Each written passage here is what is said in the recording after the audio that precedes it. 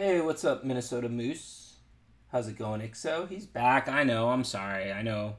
Listen, it's flattering. I mean, if you're complaining about only getting me once a week, then I've got good problems, right?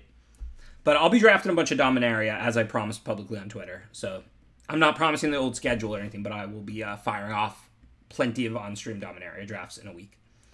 How are how are y'all doing? How how are you liking the formats? What are you drafting?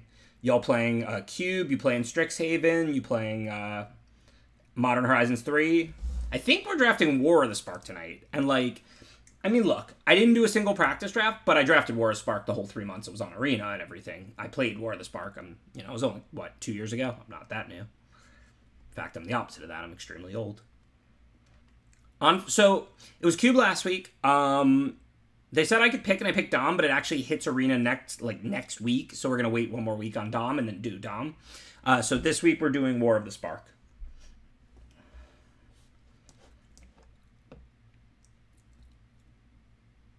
Yeah, of course. I mean, I would do Dom every week, like, unless it was maybe like a brand new format. Like if I were scheduling it, it would probably be like you know three weeks of most formats when they come out, and then you know nine weeks of Dominaria draft or whatever. Obviously, give or take. You know, like if it was like Strixhaven, I'd maybe only do one week of it. If it was like you know Zendikar Rising, I might do like six weeks of it. But ultimately, all paths lead to Dom.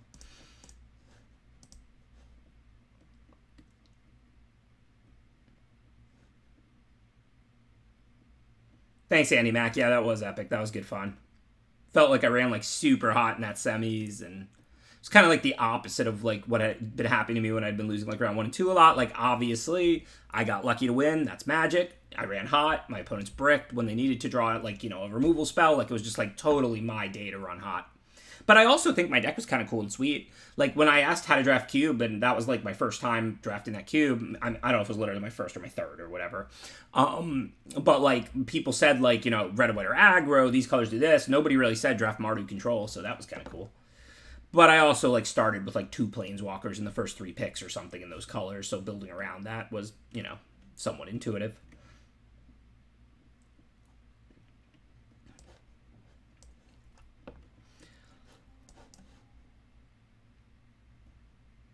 I'm just finishing up a best of one, and then I will fire my uh, sweatsuit pod. I'll concede if like everybody's waiting on me or something, but I'll have to. I'll go check in a second. I don't think like we get off pretty quick usually, and it varies, but it's pretty rare that it's like 7:02 as opposed to like 7:10 or something.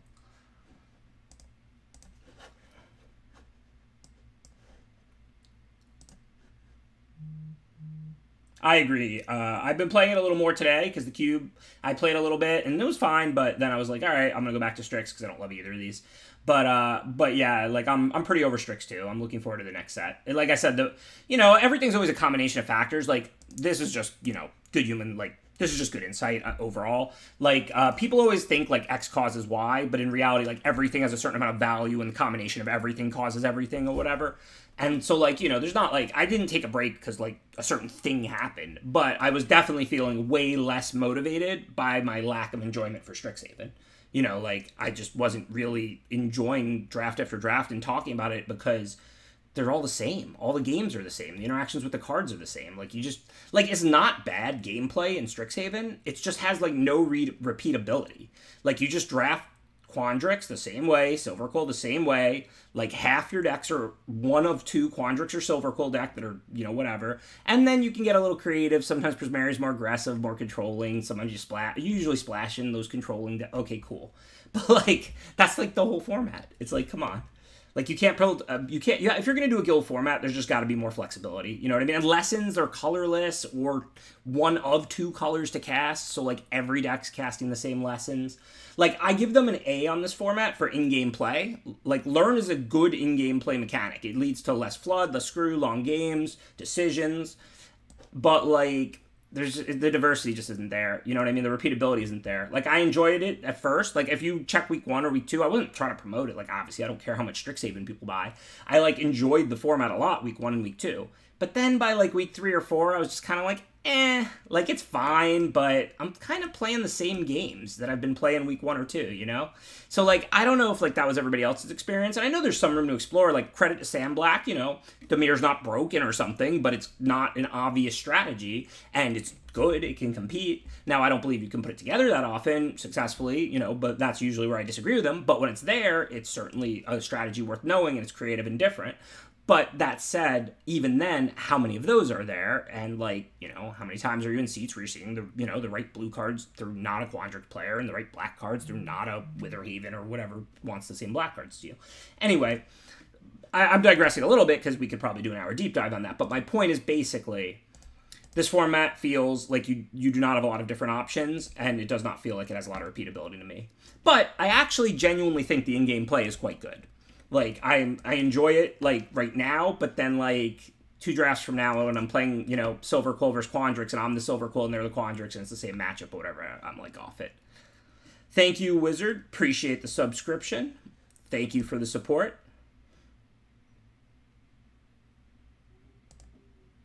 Yeah, exactly. And you can't draft Lorehold, and you can't draft Witherhaven or Prismari as often as you can draft Quandrix and Silverquill. They're just not as deep they're competitive. Like if you're, you know, if there's one Prismari, one Witherhaven, and like you know two to three Quandrix and Silverquills, I think all the decks are close enough. But you just can't like there can't be two and a half like Prismari and uh, Witherhavens in each pod, like or the decks will just be horrendous. So like it's like a it's like a three deck format almost, not a four deck format, because so many of the decks basically have to be some form of Quandrix or Silver Quill. Like obviously you splash and stuff like that. If you have learned in environmental sciences, you have infinite sources, et cetera, et cetera. But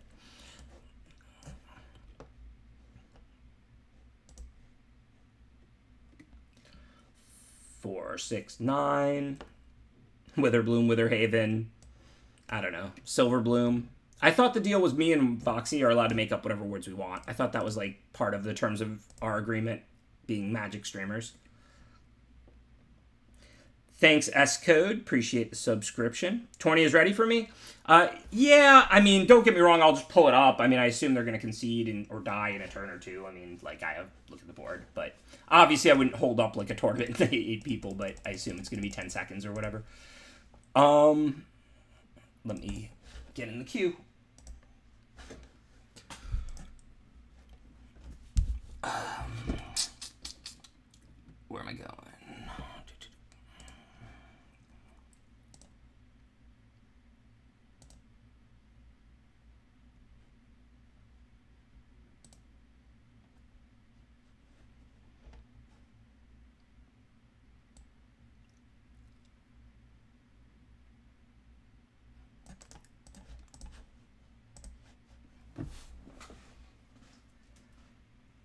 Sorry, the reason for the silence. I'm not even looking at the arena screen right now. I'm pulling up Heruka app and jumping in the draft queue so as not to hold up the sweatsuit over this best of one game.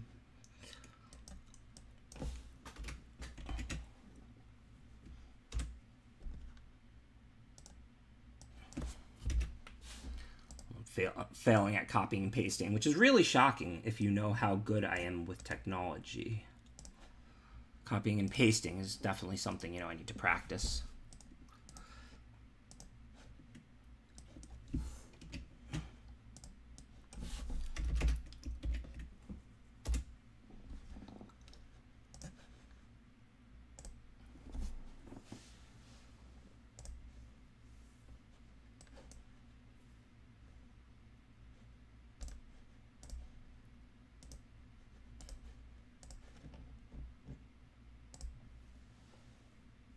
So the mic, yeah. So the thing is, the my mic is great. I have a Blue Yeti mic that CFB sent me years ago. That's really good. Um, the, the, the problem isn't really the mic so much as some sort of mic Discord Streamlabs interaction. And I'm not a tech guy. Uh, I did look into it a little bit over the weekend, but I don't really think I understood what I was looking at. And I think I'm gonna have to hire like somebody or something. I don't know, or just get like some like somebody who understands tech to actually screen share with me or something and look at it because like I did honestly look into it and I just like was like I, I don't know what's going on here. I'm so bad with technology, it's like embarrassing. I promise you I'm 37, not 57. I promise.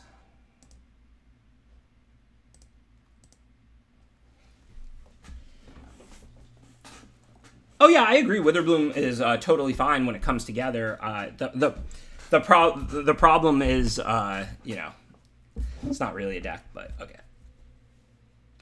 No, but uh, I mean, like I said, final thoughts on Strixhaven before we start this uh, war, the Spark Draft. Like I said, I think that Learn was a cool mechanic. I think that there should have been like maybe some uh, one uh, like there should have definitely been common like one color Learn cards. And I think this should not be a guild format, like with Learn. I'm not saying they can't do like school, Strixhaven, Magic School format if they want. I think using, I, and I understand it's called Learn, but it doesn't have to be. Obviously, that's a, an app name for it. I get how all of that came together. I'm not saying any of it doesn't make sense.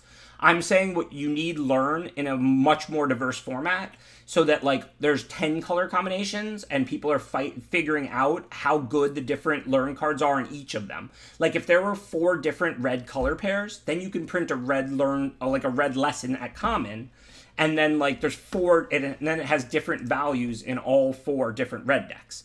The reason they didn't do it that way is because there would only be two red decks in a, in a guild format instead of four, like if you could play all 10 color combinations. So, um, you know, then they made them red or white so that they could go into like three of the color combinations or whatever, right? Um, but like, so basically what I'm saying is they need to like, like do learn by a different name and whatever in a format that you can play all 10 color combinations. And I think it would have been, I think it would have done much better had they done that. All right, anyways, let's get into the War Spark. That's my final thoughts on Strixhaven for tonight. We're drafting. We're trying to repeat. I don't know if anybody's done that. I think somebody's won more than once, but has anybody went back-to-back weeks? So we'll see if we can do it tonight. Finale of Eternity, I remember being totally broken. Might have been the best rare in the set, if I remember correctly. Uh, War of the Spark was a couple years ago. Like I said, I drafted it. It's three months or whatever. Not one of my favorite formats, but definitely I was familiar with it. I didn't like refresh this week though. Destroy up to three creatures, toughness X or less. If X is 10 or more, return all creatures. So this just kills like three creatures. You pay six mana and then kill three creatures that have uh, toughness four or less, right? It's not combined, right? Like if you pay six, you can kill three four fours. Am I like I'm reading this correctly, right? Like if you tap this for six, you can just kill three of their four fours? Or is it combined toughness X or less? It's good either way, but if it's three four fours, it's like the best card in the format. If it's like, you know, if you pay six and you can can, can, can, can kill a combined four toughness of theirs, that's not like a bad card because like they may have like, you know, a one toughness creature and a three toughness creature, like, and it's flexible. It's an X spell. If it's X or less and just kills three, that's just like the best card in the format. I don't even need to like see the whole format. So, anyways, okay. It might have been number two or three. I'm obviously I don't remember every card. So, anyways, okay. So we have a totally S tier black mythic. We're gonna try and draft black. Pretty bad. Um, Kaya looks good, of course. Uh, I don't think this card is like you know broken. I mean, six mana, kill a creature. If it lives, kill another. But if it kills two, that's really good. So certainly this card is good. Uh, what else is in the pack? Devouring Hellion. I think Black Red does do like a token sack thing. Paradise Druid's probably a really good ramper since you always get one guaranteed use out of it, just like Constructed. This is probably an easy Kaya. It's on color with a S tier broken rare. It seems like the best card in the pack overall. Maybe pick one, pack one. You could consider Paradise Druid. That's probably the second best card in the pack. And but like I would probably take Kaya out of that pack, pick one, pack one. And we first picked Finale of Eternity. Okay, so at this point we're only black. And we're gonna play black, basically, because we have like first pickable black uncommon and possible best card in the set. So, flying for strike vigilance. This thing seems really expensive. Crew four, eight mana. Yeah, unless there's ways to cheat this in a play, this is probably not a good card. Um, Mowu, eh, if you put a counter on a put double, that's a pretty strong ability, and I think counters on was a synergy fit in this format, but I think it's more of green white than green black, though I'm sure there's some green black ways, since there's plenty of green ways. Uh, Charity Extractor probably not good. Herald's like fine. Colossus, I remember liking Colossus Dismissal a lot, and I think I liked Blue Black. And we already have like two like expensive cards that can basically be like finishers, even though literally they just kill creatures. The value you generate off like killing two creatures with Kaya or like three good creatures with Finale of Eternity should win you a lot of games. So we do kind of want to draft like defensively if we can and stuff like that. Uh, Callous Dismissal, not Colossus, obviously. Okay, Thanks for always, you know, keeping me honest, chat. Okay, so uh, Feather's probably busted in white red. I don't think we're going there. Like, like you know, if we play black green, or if we even if we didn't play black, like maybe we could play a three color deck with fixers, play white something, splash the black finale somehow or something. I don't know, but I doubt we're gonna try and draft um white red. Herald looks fine. Charity and Finisher, probably more aggressive. Nothing really good in blue. Nothing really good in any other color that we can really use. Maybe the Sunblade Angel's better. But we do already have a six mana card, and Finale of Eternity is basically another six mana card. And I'm not saying like we can't play a third or anything like that, but this is three picks into the draft. So I'm pretty hesitant to take another six mana card unless it's like broken. And I think that card is probably good, but I don't think it's like broken or anything. Okay, so clearly no black cards in this pack. Uh, the blue cards are not very good. Uh, Prison Realm's excellent. I mean, it's removal Scry 1. Like, that's just a really good removal spell. Like, don't sleep on Scry 1. By the time you have enough ma- uh, mana that, and and you want to kill play an unconditional removal spell, Scry 1, every time you put a land on the bottom, is almost draw a card a lot of that time. Or if you don't have land for it, it's really good then. The green cards look fine, but we just did pass a good white 6 drop. And if we're seeing Prison Realm 5th, I'm going to assume white is way more open than green. Um, so what does black white do in this format? Because I do not remember drafting black white a lot. Like I remember white green counters matter. I remember like blue green proliferate. Red blue spells matter, right? Like Burning Prophet is like a pseudo mythic common in the blue red heavy spells deck. I don't really remember white black. I mean, I guess at this point I'm going to draft just like I did in the cube almost because I mean we already have Kaya, Prison Realm, Finale of Eternity, so it feels like we can just draft a control deck. But I don't really know. Black White has mostly lost the game. I hope that means late game, because if it's late game, that's what the cards I have are positioned well for. If it's losing the game, I'd prefer it wasn't that. Some life drain synergy. I mean, look, we don't have to go. We can certainly go black blue. I mean, we could always splash Prison Realm, and who cares about Divine Arrow? Uh, I mean, this pack, 8 is probably fine, especially if you have a Planeswalker, but you're not going to want a lot of it. It's pack 1, but it's playable, I think. Spellkeeper Weird is good. That's like a nice blocker early, and then when a 1-4 blocker, I'm going to take Spellkeeper Weird, I'm going to talk about this a decent amount. Cards like this are way better than they look. If you're a defensive control deck, you'll love a 3-mana 1-4 on turn 3, but you hate when you still have your 3-mana 1-4 in play on turn 6. So a card like Spellkeeper Weird blocks well on turn 3 and 4, and you don't fall behind, and then goes and gets back your removal, your counter, your card drawing the late game when a 1-4 is near irrelevant. So cards like I know this was a good card. I know nothing I'm saying here is profound. I'm, I'm really trying to explain why for the people at home here who might not be as familiar with some of these control decks, maybe draft a lot of aggro, whatever, or didn't play this format because it was I think like almost two years ago. But my point is basically cards that perform block well early and help prolong the game, and then provide power late perform really well in decks with really good late game because they kind of serve to win close games as a win condition and to prevent you from getting run over at the same time.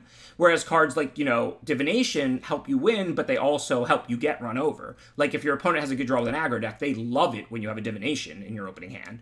But if they have a good draw with an aggro deck, they don't love it when you have a Spellkeeper Weird in your hand. I'm not saying it's incredible to play 3 mana 1 4, but but it's serviceable. Okay, rant over. So, contentious plan. So, it does seem like the white was a little bit of a fluke. It doesn't seem like we're seeing black, but again, we'll probably see black in pack two. I think we cut it off pretty well. So, I think the plan here is still blue black control. Blue seems wide open. We just tabled two Spellkeeper Weirds. And then, uh, so now we'll try and draft blue black control. We'll look for fixers to splash Realm. I doubt I'll toss three planes and Prison Realm in my deck, but if I'm able to pick up like a free fix or a tri land or something, it doesn't take a lot to play a single white unconditional removal that's at its best in the late game. Um, I don't know. I'll assume I'm not going to need. Actually, this is best of three. If this was best of one, I would not take Charity Extractor. But if I play against a ground aggro deck, then I'll board in a 1 5 lifelink, and this is best of three. So, not best of one. So, I'm going to take that.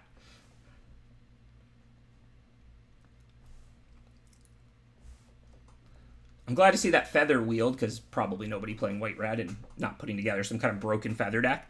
This is in pod play, remember? I actually think the structure with 32 is kind of cool. It's just like you literally like basically win your pod playing in pod in this you know against the same like card pool, and then you get to advance to like the top four to see what the other like pods got produced and play against them. You know what I mean? It's like there's almost like two little mini championships. Like if I win my pod, I consider that like a win, and then if you win the actual finals, that's just like super sweet. Okay, so yeah, Swamp was a really nice late pickup. So Soul Diviner, I mean, this is a good card. Like it's a two mana two three. It's a rare. It's clearly statted to be constructed playable, even though I don't think it saw much constructed play. But is it actually good, or is it actually just a serviceable two? Remove a counter from an artifact creature, land, or planeswalker. Draw a card. So I guess it comes down to putting counters on things. We don't do that particular. Oh, a mass. Oh, okay. And we have contentious plan, callous dismissal, and a mass. This card is going to be very good in our deck. Um, it blocks well early and it draws two cards a turn the whole game. Like this seems like. Don't get me wrong. Like Spark Harvest and like Narset may be more powerful or whatever, but like this is getting a really good two mana card. That's really hard to do for a blue black control. I don't remember all the cards in this format. Lazotep, uh, the two drop is pretty good, and that's one common, but it's generally pretty hard to get this kind of power level out of your two drop, and not nearly as hard to get that kind of power level out of like you know a planeswalker or something. So I'm gonna I'm gonna go with the Diviner. I'm not sure that pick is right. Spark Harvest might have been better. Narset might have been better. Haven't drafted this format in like over a year, but I'm confident that Soul will be really good in my deck. The reason being is a mass. I can just, and I'm good at amassing, right? I have Relentless, Herald, Callous Dismissal, Contentious Plan, and it's the start of Pack 2, and these Spellkeeper Weirds to get them back and replay them. And that, so like, I can just turn after turn draw two cards by just pulling one plus one plus one counter off my mass creatures, like turn after turn after turn. That just seems incredible, right? Um, okay, so this pack kind of not good for blue black at all. If we splash white, I don't know if I'd main deck Despark or not. It probably depends how much removal I get. I think Despark is the kind of card that, like, if you have, like, 3 4 removal, you play it. If you have, like, 7 or 8, you don't. It would be off the splash. I'm just going to go with Contentious Plan that's the kind of card that if one is good, like multiples may be good, and if you get a couple early and you have some amass early, which we do, you can prioritize more and more of it, and then your deck can get really busted. Now we can't control whether we're going to see more and more of the you know the mass cards. Like I said, I think there's that black one common, I forget its name, one two amass one. Like that's a pretty nice card. So if we can get like a couple of those and these contentious plans and a couple of the uncommons and whatever, we may end up with a really busted deck. If not, I may just not even play the contentious plans. But when you get them early, you you can kind of sometimes put that together at pretty low cost. Okay, so No Escape is good. Kiora is good if it's drawing cards, which it will not be, so it'll just be like minus one on tap of land in this deck for the most part. Seems mediocre at best. Um, so I think this is just No Escape, just a solid counter, right? This is the Planeswalker format. It hits creatures or Planeswalkers, so you don't really get like it's not like it's we're not playing Strixhaven here. They're not going to cast a lesson and make a creature. They're going to cast a creature or Planeswalker. You're going to counter it. Nice card. Okay, so this could be the fixer we need. No, it only adds mana for planeswalkers. So it'll help us cast Kaya, but it won't help us cast Prison Realm. Like it adds colorless for anything, but col- whatever color mana you want, only for planeswalkers, right? Okay, so that doesn't help us to cast Prison Realm. Guild Globe does, though. That's a nice cantrip fixer. Do we want that? So Wanderer Strike would be excellent removal to splash, but we already have Prison Realm splash and no fixers yet. I'll certainly play a third Spellkeeper Weird. I mean, we're not going to end up creature heavy. We're going to end up spell heavy. The Spellkeeper are going to be awesome, but we do already have two. So I think this is Wandering Striker Guild Globe, and I think I'm going to make the conservative pick and take the Guild Globe since I already have the Prison Realm to splash, and maybe even the Divine Arrow if my deck ends up that controlling. Whoa, do I splash Tamiyo? Is this Planeswalker good? It looks like something that would be good in a control deck. Um, so choosing non-land, card, and with all these contentious plans and all this, Choose a non-land card. Yeah, I remember this from Constructed. This card's good. I don't think it's S tier, but I think it's like A tier. Like I think it's like a good win con planeswalker for a control deck. I don't think it's like broken. It doesn't kill creatures and or protect itself incredibly well or anything. Um, yeah, I don't think it's worth splashing Tamiyo instead of Prison Realm and missing out on Epiphany. Epiphany is just a great spell. I really want one to two copies of it because I have multiple Spellkeeper weirds. So if I draw my one Epiphany, I'll just, you know, keep weirding it back and just auto win with the card advantage in the late game. And like I do think Tamiyo might be better than Epiphany, but if I'm splashing Tamiyo and putting a forest in my deck, I'm probably not also splashing Realm and putting a Plains in my deck. So I think that's a pretty clear Epiphany. Um, if I didn't have Prison Realm and I had the exact same deck, I think it would be much closer because then I could just be like, all right, I'll splash green, right? Um, all right, Interplanar Beacon would have been a good way to help cast uh, Tamiyo, though. I could take it in case nobody's blue green, but probably some green player will splash it, even if they're not blue. Um, this pack doesn't really offer me much. I mean, there's a pretty bad two drop. Uh, totally lost doesn't seem like it'll be good in my deck. Um, yeah, I'm gonna take the beacon only because I don't actually want any of these. Um, remember, this is the Planeswalker format. It's a lot more likely this will enable some kind of splash than you know it would in Strixhaven, where there's you know three mythic Planeswalkers or whatever. But that said, uh, that's a bad pick. Like, not like my pick is wrong. Like, I'm really unhappy with that pick. Okay, so we can grab another Guild Globe and uh, have another source for Realm. We can grab Price of Betrayal. This doesn't seem good. I mean, look, we might board this in if they have like counters creatures, but this has the potential to be dead in your hand a lot of the time. We can grab third weird. Again, I'll happily play three weirds, but I've seen like three of them this pack alone, and I think there aren't very many blue players in this pod. So I think we're going to table some of the weirds. I'm not saying we'll table that weird because that was seventh pick, and so we would get it back like 15th, like dead last or something, and there's basics in this format, so we probably literally can't table that weird. But if my memory is still functional at this old age of mine, I think there was like two different Spellkeeper weirds we passed this pack, pack two, relatively early to the middle of the pack, and I don't think there's a lot of blue players in this pod. So I think we'll probably table at least one Spellkeeper weird unless somebody's super high on them or those packs were terrible. I don't think these cards matter. I don't think there's any shot we'll really use any of them. But again, it's best of three. Maybe we'll board in Charity Extractors. You never really know. What's up, Nate Fennelly? Yeah, I get the Betrayal's good versus mass. Like, it's a decent sideboard card. I don't think you want to main deck it just because of a Mass. What happens when it's a dead card and it's in your hand? I mean, if you have a couple ways to loot or something, then you can main it. So similarly, uh, Shadow Fuge, I'm never maining, but maybe I board it in and control mirrors. Relentless Advance, I mean, we're doing the mass thing. Like, we have two contentious plans, and Diviner, which is broken with it, and Spellkeeper Weirds. I don't know, like, but don't look at this like we have a million fours. I'm not even remotely planning to main deck these Charity Extractors. They're sideboard. So, like, I have four four drops. Towards the end of pack two, fours, I'd probably, like, like to have three or whatever, but we're not, like, our four drop slot is not what it looks like. These Charity Extractors are sideboard cards at best. Uh, okay, we're not going to play these. So far, no good on those uh, Spellkeeper words. Hopefully I can get one next pick. I mean, look, it's not a big deal. I already have two, but I would play like a third and a fourth. I think they're going to be excellent in the stack. Search your library for Planeswalkers cards. Well, I only have Kaya right now, but I'm not going to miss either of these filler playable black and blue cards. And if I get another two Planeswalkers in pack three, remember, lots of uncommon Planeswalkers is the Planeswalker set. This could be a really strong card drawing spell if it's searching for Kaya and another Planeswalker every time. So that's not a horrible pickup. There's one of those Spellkeeper weirds I wanted. Patting myself on the back a little bit right now. Pretty happy with that. Um, okay, whatever we're not going to play Skulker. I don't think it's like an unplayable five. Our fours are just better than it for what our deck is doing. Like we have enough synergies and stuff that like I'd rather just play like Relentless Advance, I think, than Skulker in this deck. Spell to get back, amass to amass, etc., diviner, etc., etc. Not by a ton, but I think you know by enough that I just can't see myself using Skulker. Um, okay, so Fblthp, not great, but it's hard to get serviceable twos for a control deck. It comes out, it's a speed bump and it draws a card immediately. So, not unplayable. I would definitely main deck that card if I drafted it, but I don't think it's great. Davriel, depends on how many aggro decks are on this format. This is one of those cards that seems great against other mid-range and control and unplayable against opposing aggro. Uh, finisher, always a playable card. It's a 3 mana 3 2. It's not like it can't block, but it's obviously an aggressive card. That's where it's at its best. Um, Epiphany, excellent, but we are already quite good at card drawing in late game. I'll play two Epiphanies, but I think the second has substantially less value for me than the first. So I think this is either Davriel as like a weak main card that we board out against aggro and and uh, are really happy with against control, or board in against control. Uh, Fblthp or Epiphany. I'm gonna take Davriel here, and this is gonna look weird. I might not even main deck this card, but I'd be pretty happy with either of those blue cards' ninth pick. And I think blue is being really underdrafted in my pod. So I'm going to take the black card because I think that will result in me getting back Fblthp.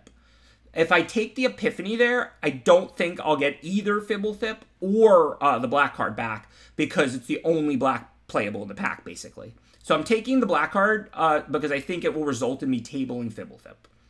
Okay, so here we'll clearly take Epiphany. Nothing else is close. Not right. Oh, well, I do want a Gateway Plaza for the splash, but whatever. We'll probably table that. And uh, I think it's just Epiphany's too much better than it. Oh, yeah, plain white can totally be busted. I agree. Obviously, I'm not, you know, switching to green or whatever, but uh, we have two Guild Globes, too, so we're pretty good on that white splash. Play like one plains. And our white cards would be what? Prison Realm, Divine Arrow, and Ignite the Beacon, possibly. So when I'm deciding whether to main deck Davriel, that's really just going to depend on how many good aggro decks there are. Did this format have a lot of good aggro decks? I really just honestly don't remember. Because that's the kind of card, like I said, that card is just fantastic in control mirrors and like unplayable versus aggro. It's just going to swing wildly. So if this was like Strixhaven, that would just be a great card. There's like next to no aggro in Strixhaven. But if this was like, you know, Kaldheim and, you know, the aggro decks were borderline constructed, I would not want to put Davriel in my main deck. Okay, so Easy Thunder Drake, I think. Blue, nothing else really for blue, black, splash, white, but it looks like a pretty good card in the stack. I know we don't have a ton of cheap spells, but we're going to have cards in hand. It'll grow. Fine card. Thank you, Andy Mack and Chemo. Really appreciate the subscription. Thank you for supporting the stream. Thank you for saying good luck. Yeah, Aid the Fallen would be nice. Infested. You know what I'm hoping for. All right, so let's see. Ob Nixilis's Cruelty is really good, solid instant removal. I started not drafting removal that aggressively because, like, I have like some, and then I didn't really get much more. So I think this is a good opportunity to pick up that. It's really important with three Spellkeeper Weirds and two Tamiyo's Epiphany that I have like one to two of every type of effect that I that I want per game. Because my deck is going to see a ton of cards and can recur cards. So if I have access to something like Cruelty in my whole deck, I'm going to have it in like half the games because I'm like double Epiphany card drawing deck, and then I can recur it and play it multiple times. So what I'm trying to say here is this is similar to learning lessons, where like the first copy of a lesson in your sideboard is worth a lot more than the second copy of the same lesson, even if it's a good one. It's the same concept in your main deck with spells. Uh, because listen, you'll draw multiple copies of Ob Nixilis's Cruelty, you're ecstatic. I'm not saying draft the second Ob Nixilis's Cruelty lower, like, than you would normally draft it. But I'm saying the first copy is like getting that first lesson, like the first of a good lesson. I'm saying like the ability, because I'm going to see it in half my games and then recur it and play it multiple times when I see it. So it has way more value than if I was an aggro deck and I was going to see it like a third of my games and never cast it twice when I when I draw it. So what I'm saying is like if you have like a deck that's going to recur instants and sorceries and sees a lot of cards, the first copy of each functions like the first lesson in your sideboard. This looks like a pretty easy toll. Even if there's aggro, it at least leaves a body behind, and we're doing the amass thing. So this this should be sweet. I don't think it's like some amazing card or anything. I completely disagree. It's the best common in war, but I, I do think uh, we're happy to get it. I would have rather had a like the Lazotep Reaver or whatever that thing's called that I keep mentioning. I don't expect to see one.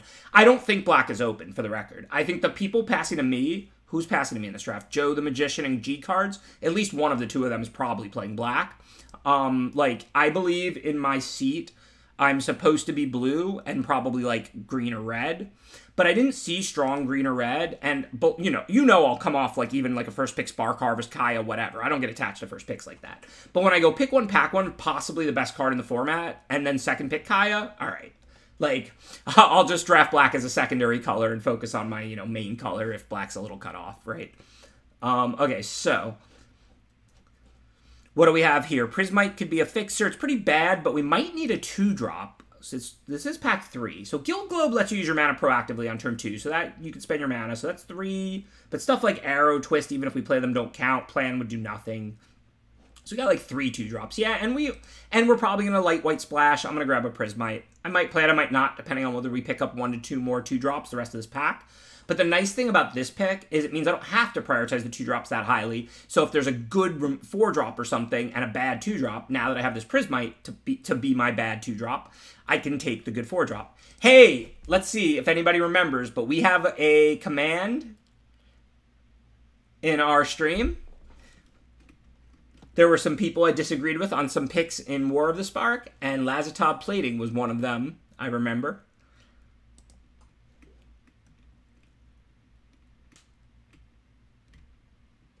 For anybody wanting to see any more of them, feel free to check out Gyre, uh, what was it called? Gyre Engineer? Um, all right, so Veto, no shot, I'll main it, but I might board it in in the right matchup if we splash white, so that's not a horrible pickup. Uh, it looks like I have about enough playables, so I don't think I'm worried about too much. The curve actually looks good. All these three drops are, like I said, they don't get better or worse, particularly in multiples, just fine. Like, I'll play all four for my three drops. Two drops, three drops, four mana cards, finishers. This looks to be fine. I don't think my power level is, like, through the roof or anything, but I think, like, I have late game. I have some removal. I have a busted card, like a totally busted card and I can definitely grind. I can recur things. I've got I can attack the hand, I can draw cards, I can kill creatures, I can counter things, and then I can recur all that good stuff. So, I mean, this deck certainly has vulnerabilities, but it can definitely grind and win games.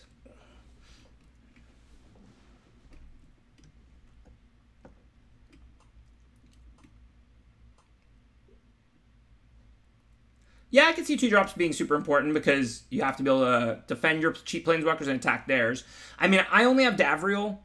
Uh, if somebody has a Narset or a Davriel against me, I definitely want to be able to attack it. I mean, this isn't constructed. Like, I can Epiphany on their turn, and then that's all the card drawing Narset's really shutting off, right? Oh, no, I can't. It shuts off the globes, too. So that, yeah, I do need to be able to remove Narset or something like that.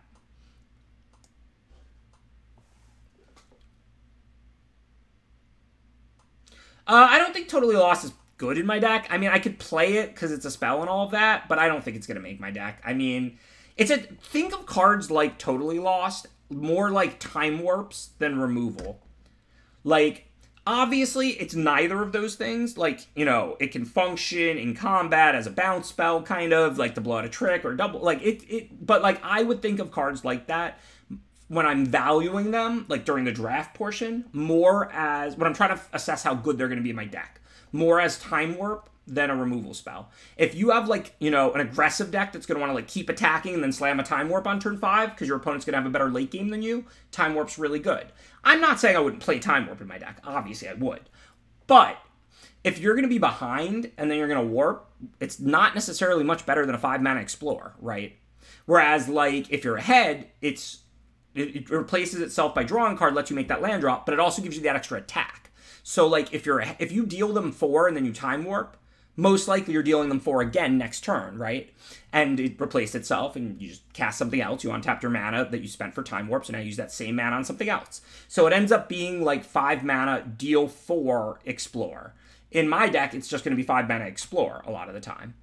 Obviously, you can do more than that. Obviously, I'm going to be ahead sometimes. Don't get technical. But I'm just saying from like a broad, generic standpoint. If you want to know how good like a tempo card is in your deck, think about like the further ahead you're going to be on average over the early turns, the better it is. Like the more aggressive you are, really, and like the worse, uh, the better your late game, the less good it's going to be.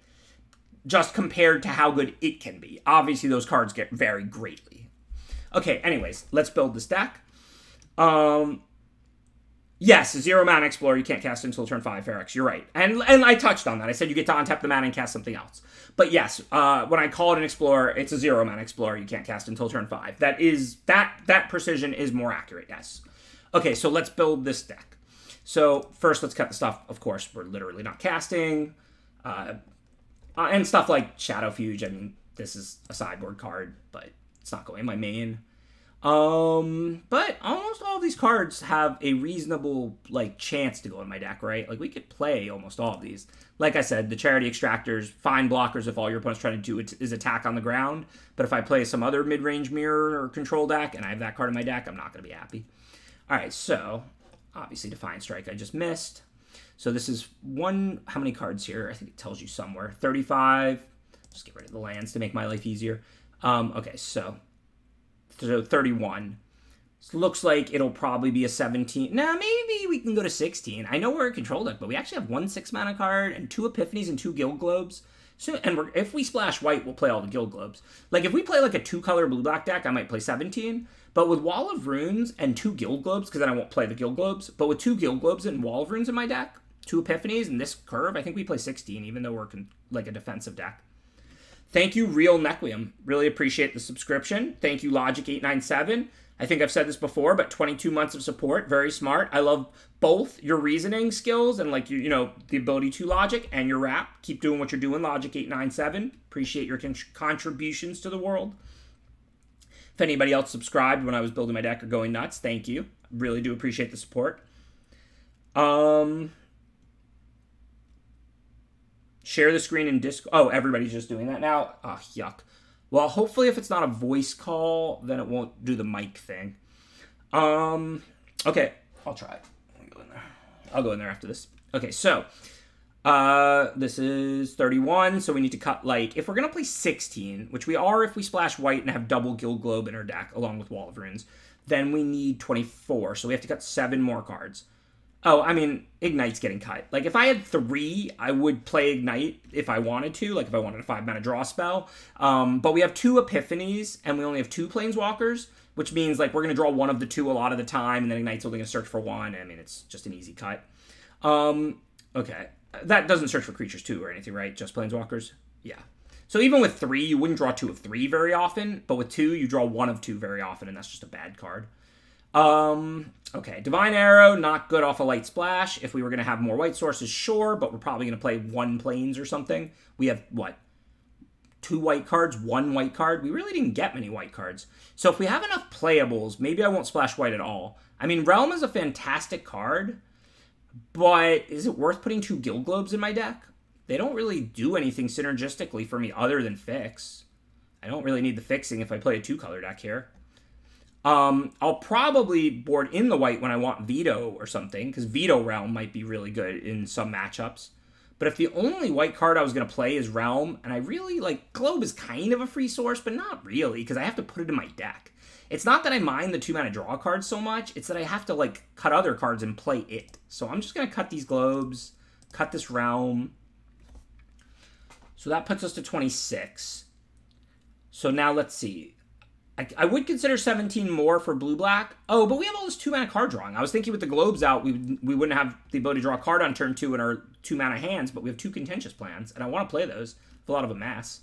So okay, and then Prismite can get out, obviously. Um, so yeah, this is this is looking good. Now we only got to cut like one card. Yeah, Prismite out too. You're 100 percent right. Um, yep. I honestly didn't see the chat. I just got there, but yeah, um, you got, you're 100 percent right. Old Red and uh, Hatless Jester. Yeah, Prismite is an easy cut there. We looks like it looks like we have a ton of two mana cards. Like this is not a two mana card. Like for the purpose of curve, like let's see, this is not a two mana card. Like I'm never playing those on turn two. Yeah, we don't really have a lot. We have the right amount basically. We have four that are like we're happy to spend our mana on, and two we can cycle if we need to hit a land drop or something. So never mind. We're not these. I forgot we had all these pseudo two mana cards, so we're not cutting any of the like two mana cards we can actually cast here. And I know call, wall cost one, but we can cast by turn two to not get run over. So anyways, those are basically not cuttable. So what are our cuttables here? We could cut Davriel. Those are basically not cuttable. We could cut Relentless Advance, Thunder Drake. Those are probably the worst of the two fours. Uh, Thunder Drake broken in blue red spells, but you know, and we're probably going to play it, but we're not like an aggro deck and we don't double spell. Uh, Time Twist is cuttable, not a great card. Uh, exiling, uh, like Kaya is amazing, but exiling like your mass tokens doesn't work. Um, no, I don't think we want to trim a weird. Uh, I don't think it really gets better or worse in multiples. So like we could cut a weird if we had like enough better three drops, but we literally have four three drop creatures that's not like a ton. And we don't even have a ton of two drops, so we definitely want to draw like a three drop every game. So I wouldn't even consider cutting a wheel oh, a weird. And even though these are three drops that you don't really fall behind, you don't really want to like um Nyx's cruelty their three drop. You'd rather play a weird on turn three and have cruelty to kill their five drop. Same thing with no escape, basically. Toll, I'd be pretty happy to proactively play on turn three anytime. So I would view Toll as like a three drop because, like you know, unless they like are on the play with an aggro deck and go two drop, three drop or something, like this is a proactive three drop that's basically going to be at its best around turn three because like you can't cast it before that, obviously. But even discard that costs one like Thoughtseize, here's a little bit of tech, a little bit of pro tech. Uh, this is more for constructed, but the concept applies in limited people pretty much like who are like medium magic players always Thoughtseize turn one if they don't have anything else to play. But a lot, almost all the pros I know who are good with Jund and stuff like that, sometimes Thoughtseize turn one depending on the matchup. Sometimes they just don't on turn one, even if they had an untapped swamp is the only thing to play, and they play it on like turn three, because you want to give your opponent time to draw like their best cards, the cards you're really hit, hoping to hit with Thoughtseize. So if it's a matchup where like they have Death Deathrite or something, and it's like that's like an amazing one drop, you're going to do it turn one if you don't have anything else to do. But if the if you really don't care about their one mana cards and like you're really mostly interested in their three mana plus cards, maybe wait till turn three if you don't if you have don't have a good three drop that you care about playing on turn three. Anyways, point is discard at its best, basically like turn three or four when like you have the max chance at getting their best cards, but they haven't emptied their hand ever. Um, I'm like all concepts all the time tonight because I really don't remember War of the Spark that well. So I can't go into like great detail about the archetypes on War of the Spark or anything, as you can probably tell because I'm keep ask I keep asking the chat. But hey, the concepts that don't come up that often in Strixhaven and I haven't thought about and talked about for a little while that are coming up in War. I mean that's kind of interesting. Okay, anyways, so no escape's not cuttable, cruelty's not cuttable, Kaya is obviously not cuttable. So these are basically our cuttables. So is Relentless Advance or Thunder Drake better as a four drop in our deck? Um, let's see. Relentless Advance, I mean, get it back with Weird, but that's just turning 1 4 into a 3 3. That's like not great, not horrible. What else does it trigger? Like, what are the synergies? More amass synergy is good with it, right? Like because it's like you're giving haste. Like you amass two with a three three out, and suddenly you amass three with a two two out, and suddenly you're attacking for five, right? So if you have like cheap amass, that's good synergy with it. So we have two. Well, we have two plans, which is good synergy with it. Plus one plus one draw a card, plus hopefully on at least one other thing. Plating, which is good synergy with it. We can go plating on tap, play that like. Dis- dismissal's good synergy with it. Bounce their thing, get the one one, then amass then relentless advance, attack for four. Um, yeah, that's a pretty good amount. Toll leaves a 1 1. Toll them, then Relentless attack for 4. I think Relentless Advance is better in this deck than Thunder Drake. Thunder Drake's probably going to make it 2. So I asked this question and I didn't really see the answer. Uh, is there a lot of aggro in this format? Because if there is, Davriel's not a main deck card. Like, I, I don't have like a ton of great one mana, two mana cheap defensive cards or anything. I have like enough but like, so I mean, if there's if people are gonna curve out two drop, three drop on the play against me with aggro decks, I don't want Davriel in my hand. I could always board it in. But if there's like no aggro in the format, then Davriel's like a great card. So should I main Davriel or should that be a sideboard card? I think all three of the cards I have as the last cut are fine cards. I think the Drake is a fine card. Near busted and, and oh, you know what? The Drake works so well with the contentious plan. Play a spell, play the plan. Uh, I mean, gets a counter, the plan resolves, grow it again. Yeah, we're not cutting the Drake with double contentious plan. So I think it comes down to Davriel or Time Twist here. I think it's really just about evaluating Davriel. I mean, I think we know what we're getting with Time Twist, right? Super medium, solid playable in our deck, obviously. Dodge removal. If we blink Kaya, it's awesome. Just a medium overall card. So it's really a question of how good Davriel is.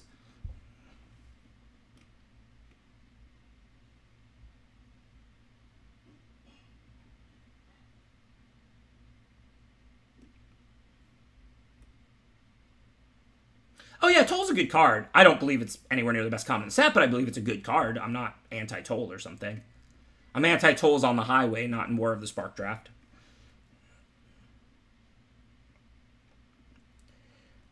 Davriel, yeah, I know Davriel will be better for the grind. I know Time Twist is going to be more consistent.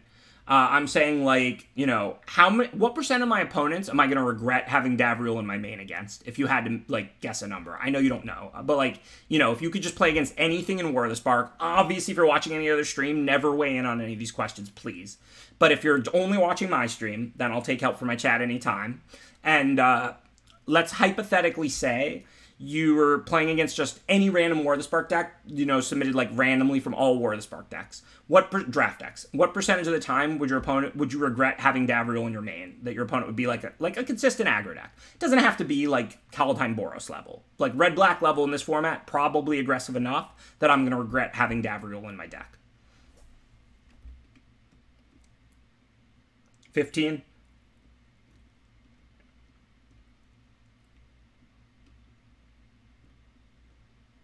No, Wall of Runes is not getting cut. I would play a second Wall of Runes for sure.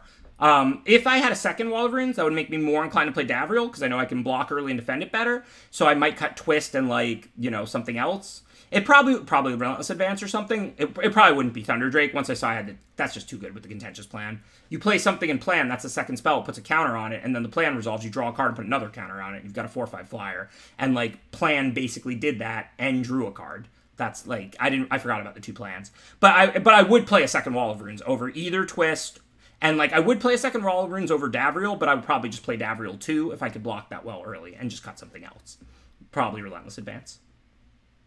Yeah, Time Twist is aggressively medium, I agree. Which is why the question is when when is Davriel going to be like horrible? Because like like I said, if your opponent goes two drop three drop on the play, this is a horrendous card.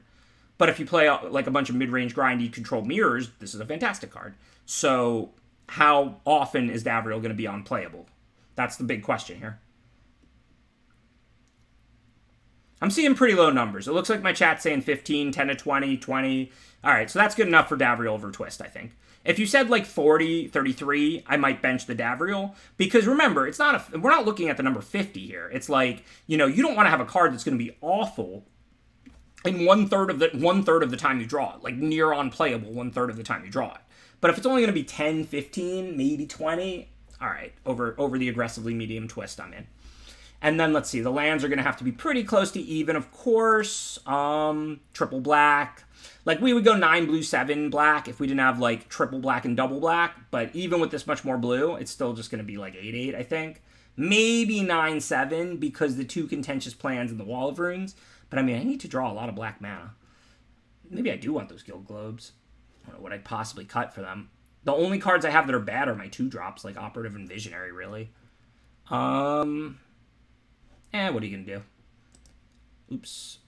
I don't want any planes for Kaya. So the debate here is I don't want to stick a bunch of bad globes in my deck. Um, contentious plan is like cycle on turn two, but like globe. But in the late game, it could be a really powerful card in this deck. So we're gonna either play eight eight or nine seven. It's pretty close. I think it's eight eight. Nah, we have a lot of early blockers that are blue and card drawing that's blue. Maybe it's nine seven. I really want nine eight. Maybe I have to cut another spell. This deck really doesn't need 17 like mana, but I think it needs the 17 colored sources. I'm not really comfortable with going to 7 black when I have a triple black card and a double black, like best card in my deck. And I'm not really comfortable with going to 8 blue when my deck is like three two thirds to three quarters blue. Almost all my 2 and 3 mana cards are blue. So I think we're gonna have to play 17 lands just to get enough colored mana sources. Wish I had like one blue black duel or something. No, no, stop suggesting cutting wall. Globe could come in to help this problem instead of a land, sure. And that might be correct. But like wall is not cuttable. Like wall is like in this particular deck, just like not in the aggregate, obviously. There are tons of decks wall is laughably bad in. But in this particular deck, I would say wall is like around like my 16th, 17th best card. Like I'm not gonna get crazy and be like, oh, wall's amazing. But like, you know, it would be not even close to being cut. Like I would cut like Herald, Relentless Advance, Relentless Advance, Thunder Drake. I would cut Davriel. I would cut um, maybe the fourth Spellkeeper Weird just because I have a lot more things I can do by turn three than turn one. I wouldn't cut like like all four Spellkeeper Weirds before I would keep cut the first wall, but I would probably cut the fourth weird, maybe the third. Like there's a lot of cards I would cut before Wall of Runes out of the stack. I'm not going to play 41. That's just being silly. We'll just make the hard cut. The only time you play 41 is if you have like or more than 40 is if you could see yourself going through your whole deck, not because the last cut is hard. We want to maximize the chances of a strong finale of Eternity.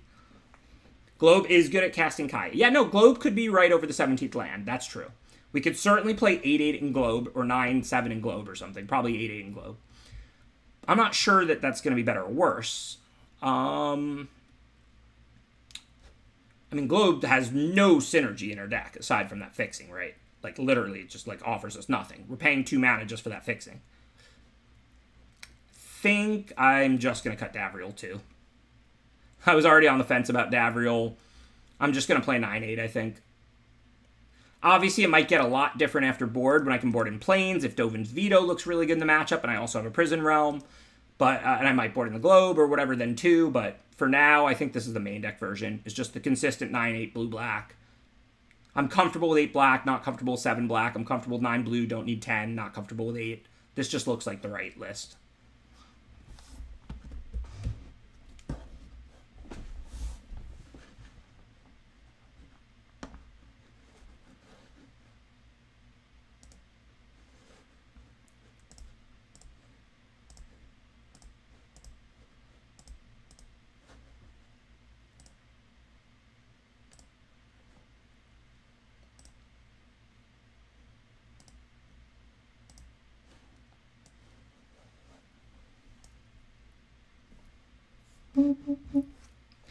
That is true, Six Rock. Uh, I mean, not that like because the costs are different, so it's not really. You're right logically that like go, globe drawing a card shrinking your deck by one. When you have broken cards, like cheap cantrips become better. I've talked about this from time to time. The difference though is like you're paying a cost when you play globe, two mana to shrink your deck by that card, and you get the fixing you could just not play 41. Like if you had like if they ever make a mechanic like for every card in your deck for every card your deck started above starting the minimum the minimum starting deck size in your format get X.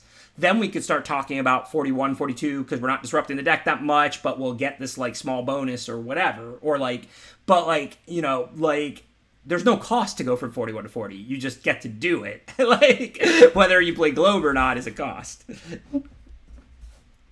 but the point is solid. The Six Rock is making is the, the point is solid. That cheap cantrips do get better when you have broken cards. Um okay, let me see if I've got an opponent. Uh, let's see. Looks like this week, round one, we've got GG cards. And then if we win, we get the winner of Kanata Live, who's beaten me twice, including in the finals. I've got like one first, one second in this thing.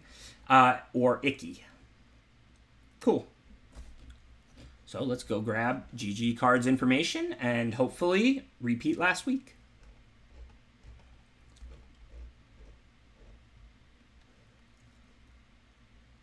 What did I pronounce wrong?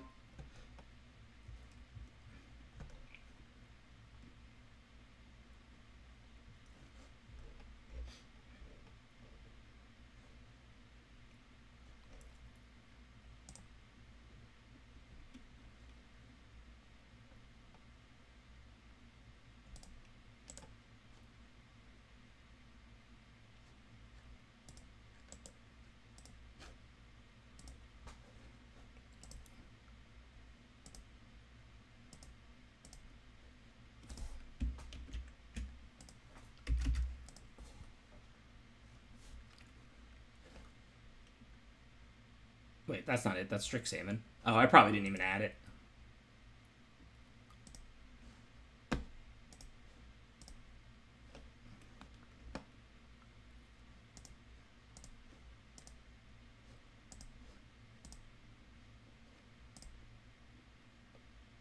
Hmm. Never really had the import fail before. Let me go check out what's going on. Wonder what's causing the problem.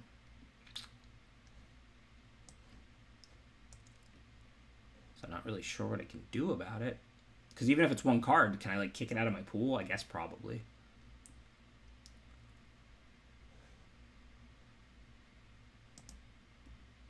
First, I'm just going to try doing it again, but let's see.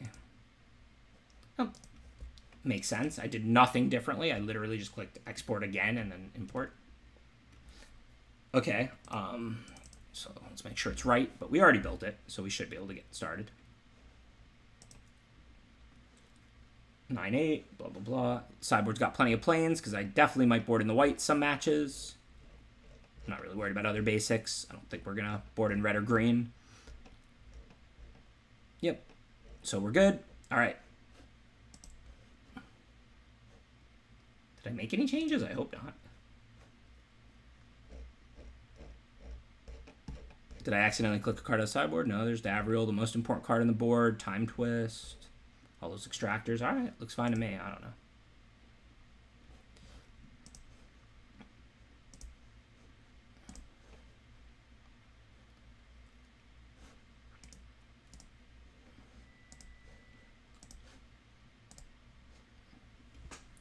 Looks like we're underway. This screen means we're connected and it's loading. Um, so let's do it.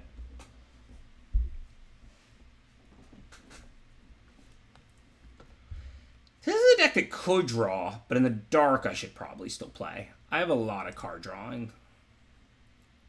Looks good to me.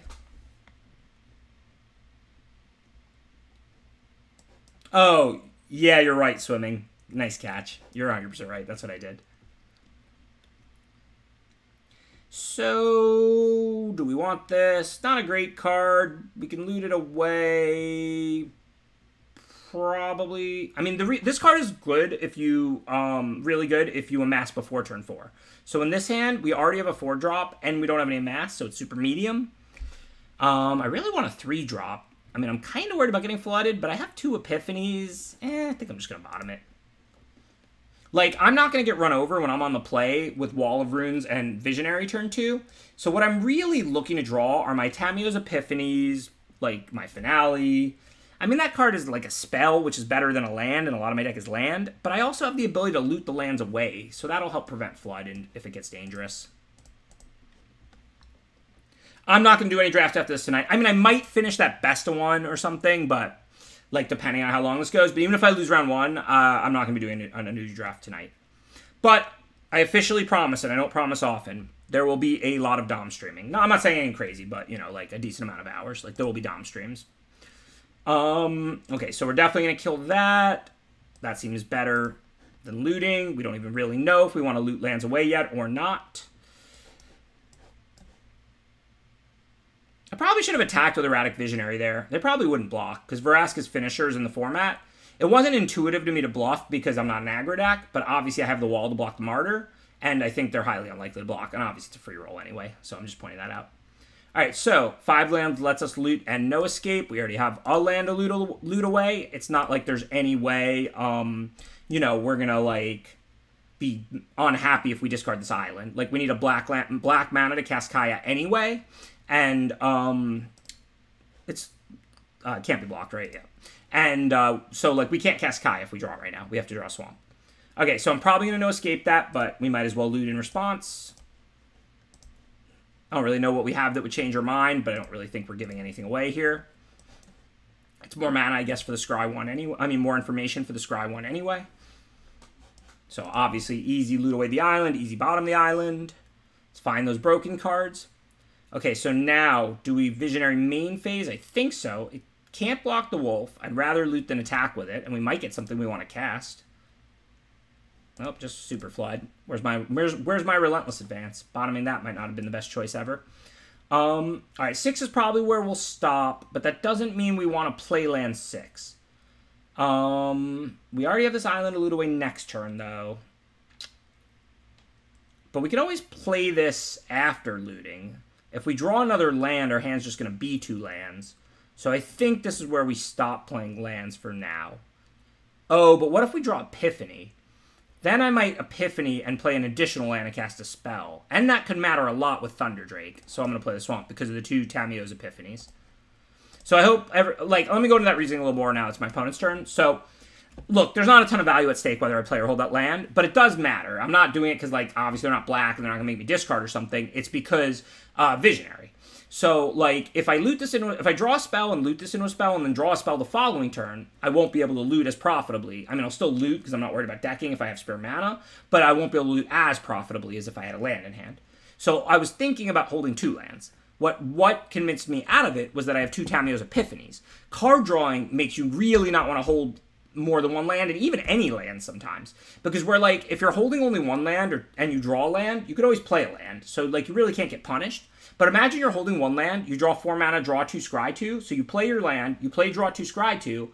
You could get a land, or you scry like one land to the bottom and top one good spell. Then you draw a land in the spell. Now you can't play that land this turn. Imagine you're one mana short of casting that spell. So it's fine to always hold one land if like you don't have card drawing. Generally, I mean, there can there can be other exceptions, but if you have like good card drawing, you shouldn't necessarily even hold one land. In this case, obviously, I'm going to because of looting, but um, theoretically, if you didn't. Okay, so let's go ahead and visionary. I don't see this blocking. I think we've reached the point where we're gonna have to block with Thunderdrake probably. I mean, it might actually might not because I guess Herald blocks Arlinn's Wolf, and then I'm taking seven or chumping with Wall of Runes. But and eh, they might have removal or something. If they have, I mean, I don't know. I, I maybe could have attacked with Thunderdrake because I don't think it's blocking profitably, but I also don't like think that two damage is super relevant at this point. We're clearly the control deck now.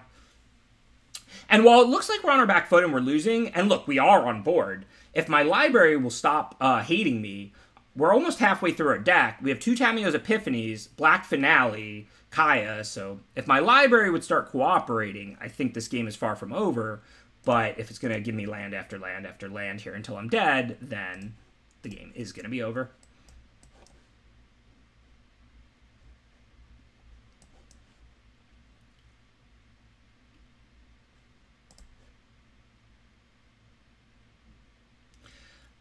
Yes, uh, Ekpetri, but the cards all weigh on each other, and I'm just explaining why. I mean, you know, it's like if you tell somebody a concept and they understand what you say, but they don't really understand why, I don't think they're going to apply it nearly as well. So I'm just trying to like elaborate a little on where the value comes from and why things are.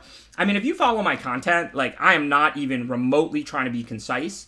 My main goal is to teach everyone how to think about magic, not teach people like what's right right now. So that that's just generally what I go for. Okay, so what are we going to do here? What are my choices? I mean, look, I can take a hit. I'm not like that worried they're going to burn me for seven. If they have it, they have it. 3 4 on 3 4, fine, whatever. I could like double block the worm. I would lose the 3 2 and the 3 4, but I only take 3 down to 11. I have to deal with a 3 4 flyer then, but I kind of like the Amass 2 happening since I have the Diviner. I, I think that actually might just be the right play. Keep the life total up. I get the 2-2 zombie. If they have a trick here, like, I'm not happy, but it's really not that big of a deal. I get the, like, it's not good, but it's something I was going to have to work through from this position anyway, and it's not like a particular blowout. So I think I like this block. Hopefully they don't have anything, but again, if they do, I could probably live with it. If it, like, exiles Herald or something, like if they Magma sprayed Herald, I would be extremely unhappy. But yeah, like something like that I can live with. Band Together was going to do roughly that. That said, they keep having spells, and I'm falling further and further behind. So for now, let's see, what are my blocks? I'm at 11, play the Weird, which can let me get back Cruelty, which can deal with the Flyer. I can't deal with the Worm yet. I'll happily chump it with the 1-1 and then remove the last counter to turn it into a 0-0. This turn, though, I don't want to do that because it still has two counters. I might have to do it, but I'd be giving up value. If I take this, that's 10. Doesn't give me a lot of wiggle room. Um, so maybe I chump with Visionary now. So I wait to loot. Because I don't want to take another hit from Worm. So I think what I'm going to do, pass the turn, um, block Visionary on Worm, because I'm probably going to have to take like a hit from an Arlinn's Wolf or something. So I think Visionary on Worm here, take three from the Flyer. Loot, obviously, before it dies. I have the Swamp to discard. That makes a lot of sense. Um, so we go like Visionary on Worm. It's gonna be like Diviner on one of these. Oh, you can't block it, duh. What am I saying? Um, okay, well, I mean, that further solidifies Visionary on Worm. Um, what if I block everything on Worm? One, three, five, six. Because, I mean, this has a lot of toughness. Four, how are they going to order it? Eh, might not be horrible if all these little creatures can't block their Arlinn Wolves anyway. I wouldn't do it otherwise, of course. I would just throw Diviner on an Arlinn Wolf and remove a counter. But I actually think it might be right because I have to like deal with this sooner or later, and it's not ideal, but I can't block the Arlinn Wolf. Like these little creatures all don't interact with Arlinn Wolf. So at least they interact with Primordial Wurm, and then maybe my removal will be able to stop the wolf, or I'll draw something or whatever.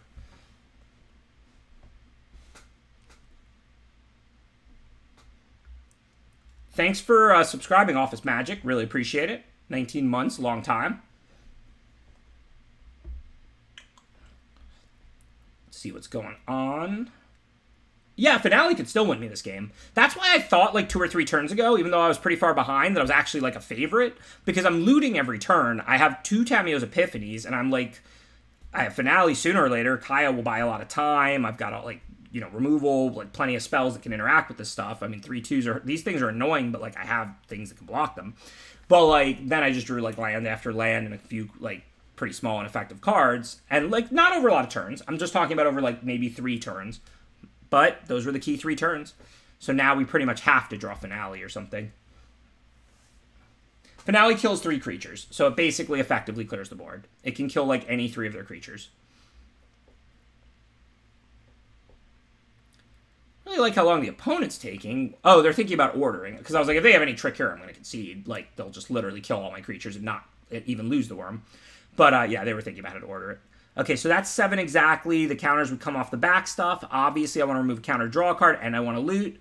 We want to draw the card first because we're going to do that no matter what. It could influence our loot. No, because we have a swamp, we're going to discard that no matter what. So let's do that first. Wait, no. Having more cards would give. Eh, it doesn't matter. I'm gonna discard the swamp no matter what. I'm gonna draw. I'm gonna. I'm gonna keep the visionary card and the diviner card no matter what. The order actually just doesn't matter right now.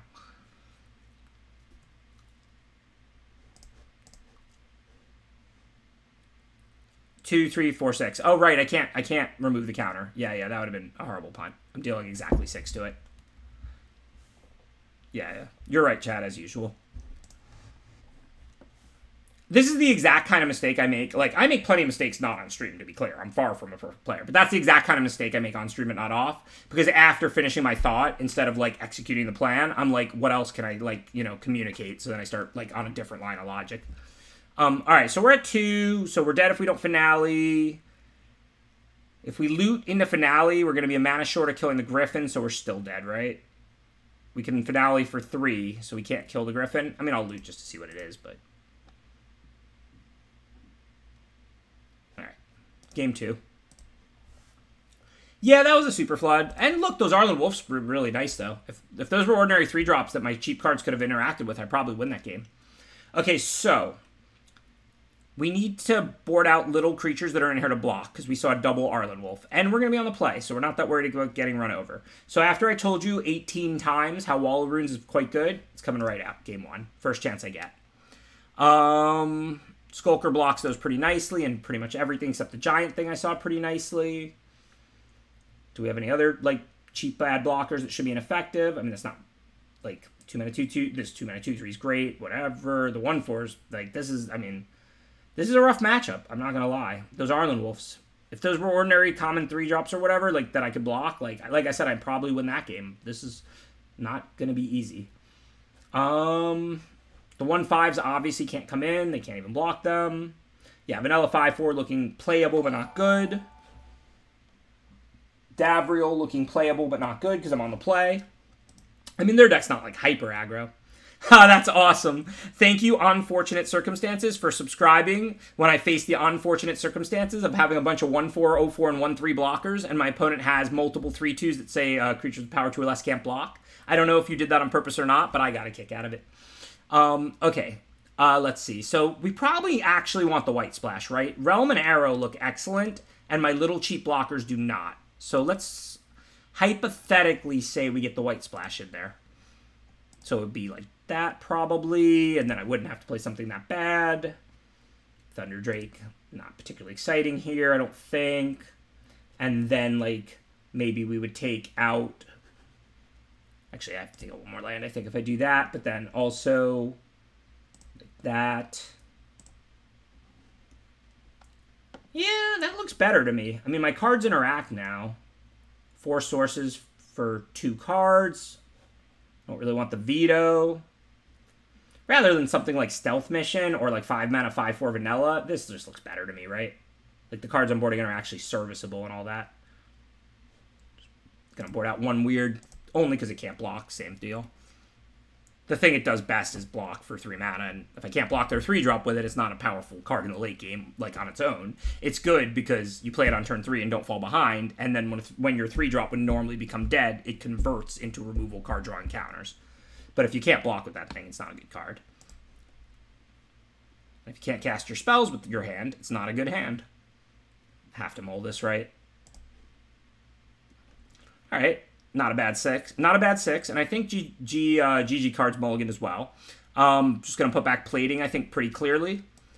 It's not a great opening hand card. We don't have any creatures to protect. We're looking to go Globe, No Escape, any three drop, and then Slam Epiphany. So we're not going to put back a land because we're actually hoping to draw land. And uh, Globe gives us a white source, helps us hit land four.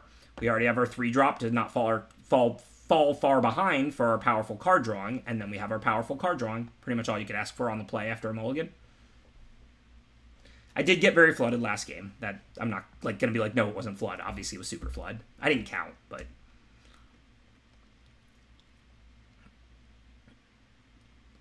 I would no escape pretty much anything here because I'm gonna tap out like indefinitely.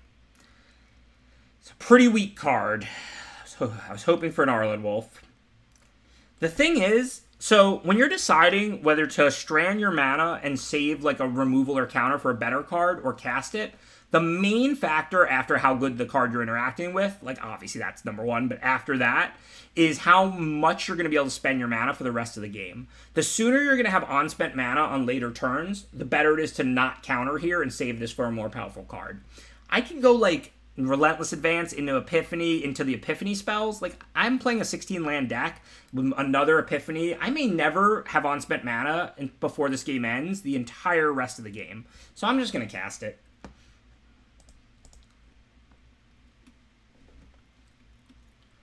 Okay, I'll take it. We can already cast it off Globe.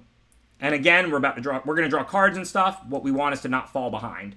Like I'm amassing because a three three interacts profitably against a two two, and I'll just play the card drawing next turn but like you know the card drawing is much more impactful that over the like where this game's going than I expect this three three to be. Now, of course, will Epiphany. We don't really need um, to Divine Arrow this turn. Pretty much any lands on the bottom, any solid spells on the top, and I think I boarded out pretty much all my super weak spells. That is the advantage of boarding in the two good uh, removal spells from the third color.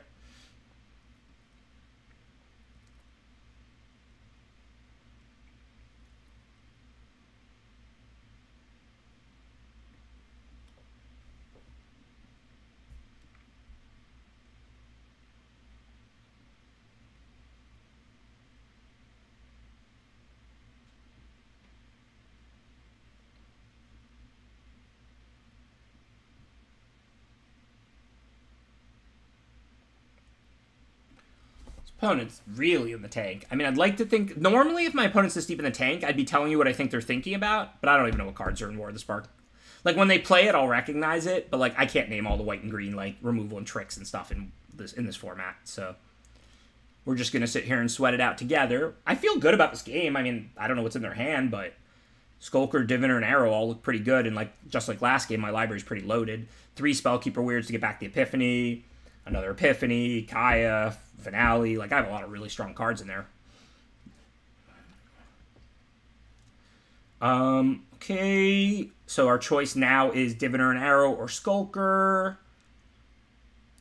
Skulker has the ability to take out Domri, so I like that. Can it block on board? Yeah, they can't minus two. The plus one, you know, doesn't do anything effective here. Okay, so I'm going to assume their last card probably can't interact with Skulker and just play it. Hopefully not. If it can, I might lose, but if it can't, then I can give it unblockable, kill Domri, and then play Diviner and have Arrow up, and I'm looking great. So this is a huge turn. Hopefully they uh, just can't kill Skulker or anything crazy. Like they can play a creature or something. Like I'm, I just need Skulker. I need to untap with Skulker, kill Domri, and then like play these, and that'll be a great turn. Unfortunately, that didn't happen. Obviously. Now back is to the wall. The game is not over, of course, but back to the wall. Like if I draw final, whatever we win, and if not, whatever. I can play three cards, but now I have next to no power, and I'm gonna have to draw my good cards to be able to win. So like now I think we're in a losing position, but if I draw like Finale or Epiphany or like Spellkeeper Weird and they can't kill it, I can get back the Epiphany or something. But I think like now I think we're not a favorite in this game. If that Skulker lived, I think I would have been a favorite. Which is kind of what I'm saying. Like last week, my opponent just didn't have that last band together. We played tough games and my back was to the wall, but then they didn't have that band together and then I like turned the game.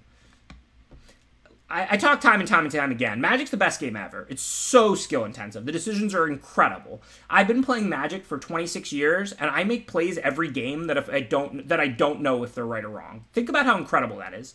Like, what other strategy game are you gonna have somebody with five Pro Tour top eights in the Magic Hall of Fame who's been playing the game for 26 years and is like, every game I play, there's at least one decision I don't know if I made the best or second best choice. Like every single game, basically. Obviously, that's not literally true. There are games where I'm mana screwed or whatever. But like basically every normal game where I have decisions and I have a decent amount of resources, I don't believe. But where I'm going with this, those decisions very rarely determine the game. Because if you know how to think about the game correctly, you're usually evaluating two close options. One of them is worth 1 or 2% more than the other. And so those decisions very rarely actually determine the outcome of the game. So I always say Magic is extremely skill intensive and extremely not skill rewarding. So you just got to take your wins and losses both with a grain of salt. You got to be humble about your wins. You got to like, you know, accept your losses and you just, you know, play for that, you know, play for that percent that you can fight over is what I always say. Okay, so here let's see what's going on. Um, okay, so if I kill that, they get to proliferate the Domri. That's like not great, not horrible. It's not like it has some kind of ultimate, like incredible ultimate. Now they can fight away a creature like Diviner. That's a pretty good creature. Um, I so I don't really want that to happen. Um, but what are my real choices here? I mean, if I take it, I'm gonna have to block next turn. Maybe better to make this fight next turn than this turn, though. Um, see. I do not play bridge, no. Uh, I, I have played a lot of games just casually and stuff, you know, but like I, I don't think I've ever played a game of bridge. Um, okay, so do I block, arrow, or take it? All are reasonable. Obviously, if I block, it's with Prismite. Um, I don't think they're holding much. The attack with only one creature signifies that they're afraid I'll be able to attack Domri out, like if I have a removal or bounce or something. So I think they're going to play one creature or nothing here. I think I'm just going to take it. I don't really want them to proliferate Domri this turn when I can maybe threaten it. Like, they might not have anything, and I might draw bounce or removal and kill Domri. So, I, I don't know. So let's see. Now we can Callous Dismissal, get rid of the 3-4. Guess I'm still short of killing Domri, but... um, And then if I attack Domri with both, if they block with the Martyr, it goes to 4... Domri goes to one. They can't fight anything, and then the Martyr, so it goes to two. So they basically still can't fight anything. Like they can, but like I wouldn't care, um, because they would lose Domri. So that looks okay if I'm not going to be dead. I mean, they'll they'll get to trade Diviner for Martyr, which is a very bad trade for me, but I don't think I'm really in a position to be pulling counters. Well, I guess I'm going to chump and pull the one for a card, and a card is pretty valuable. Like, my library is really loaded. Um, so do I just sit back? I can bounce, like, the 3-4. Oh, and then I can just attack Domri with only Prismite. That looks excellent, actually. And then even if they fight off a blocker, I have Arrow. Yeah, that looks good. I don't care if they gain the life one bit. And now this forces them to either lose the two Domri counters or trade with Prismite. And then for them to kill me, they need one of these to get through. I've got two blockers up. They might kill one with Domri, but if it goes to one, they can't even do that. And I've got Arrow as backup, so yeah, we'll send just Prismite. This is 100% the right line. It's embarrassing that it took me this long to find it, except that this is like the second game of War Spark I've played in a year or whatever. I haven't played with these cards in over a year. But yeah, this is 100% the right line this turn. It's just Dismissal the 3-4, Prismite attack Stomp, repass the turn. Like everything going on is profitable.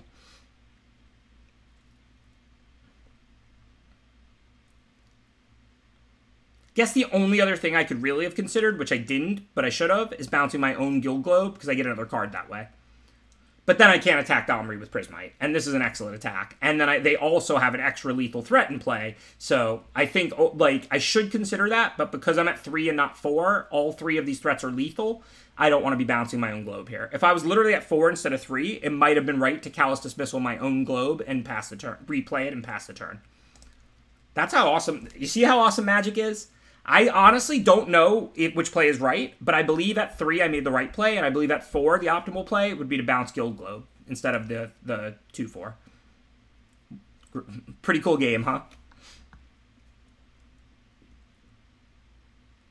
No, of course I didn't pick War of the Spark. I chose Dominaria for this week, but Dominaria literally hits next week. So they're just like, you know, going to do War this week and do Dom next week, which makes total sense.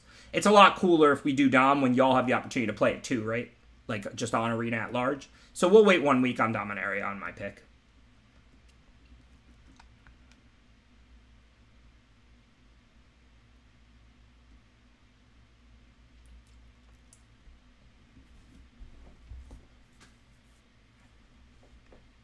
So they're going to go for the win here, effectively, basically. So this is cool. So I can remove the counter and draw a card. That doesn't give haste, so then I can just kill the Martyr with Divine Arrow so I don't miss the card. So this looks good. And then if I do spike the instant removal or something, it's like a huge blowout. Sadly, I did not do that.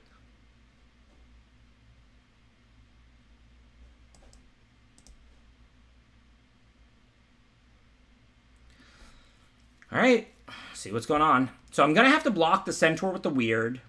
And, ugh, another, like, more counters. The Domri's gonna have a million counters. Thankfully, he doesn't have an ultimate. Oh no, they just went with the plus one plus one counter, which was definitely right.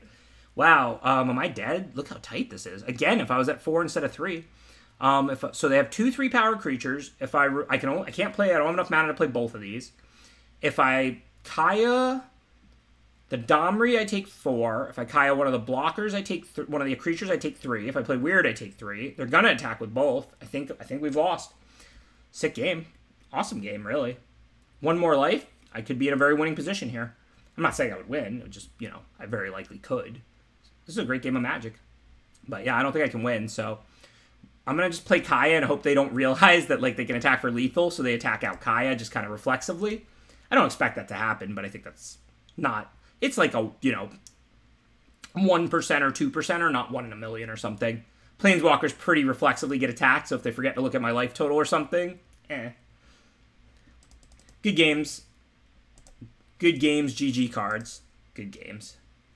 You cannot sack weird the turn you play it. You can, I think you can at instant speed, I'm pretty sure, but it's affected by summoning sickness. So the turn you the turn you play it, you cannot sack it. I think this deck, you know, was fine. I don't think it was anything special, but like obviously I see a lot of cards, so I could win a lot of games with finale. I didn't see finale either game.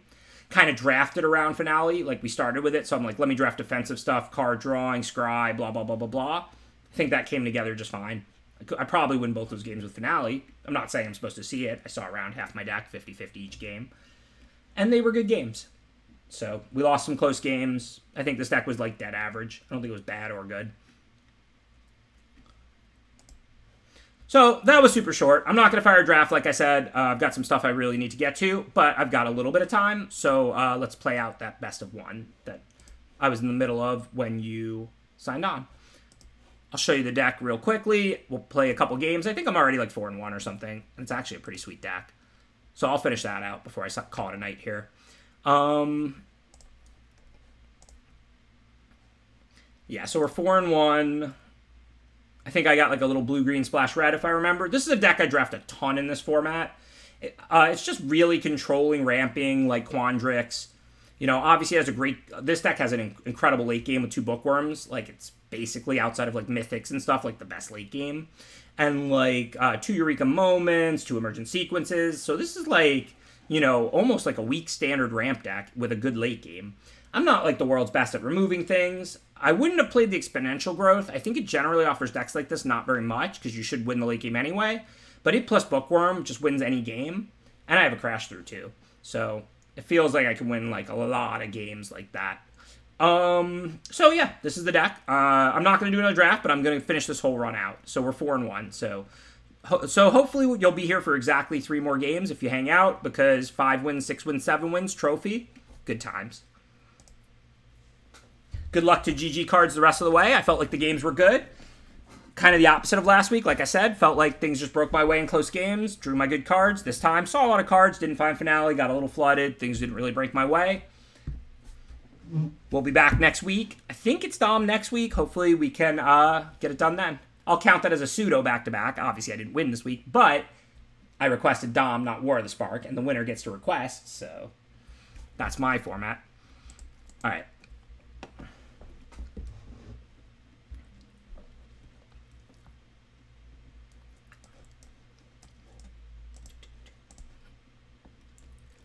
Don't know if doing it now or at the end of their turn makes a difference. Like I do not believe there's anything they could ever do that would get me to do that. So I'm just doing it now to save like time, let the auto passer work.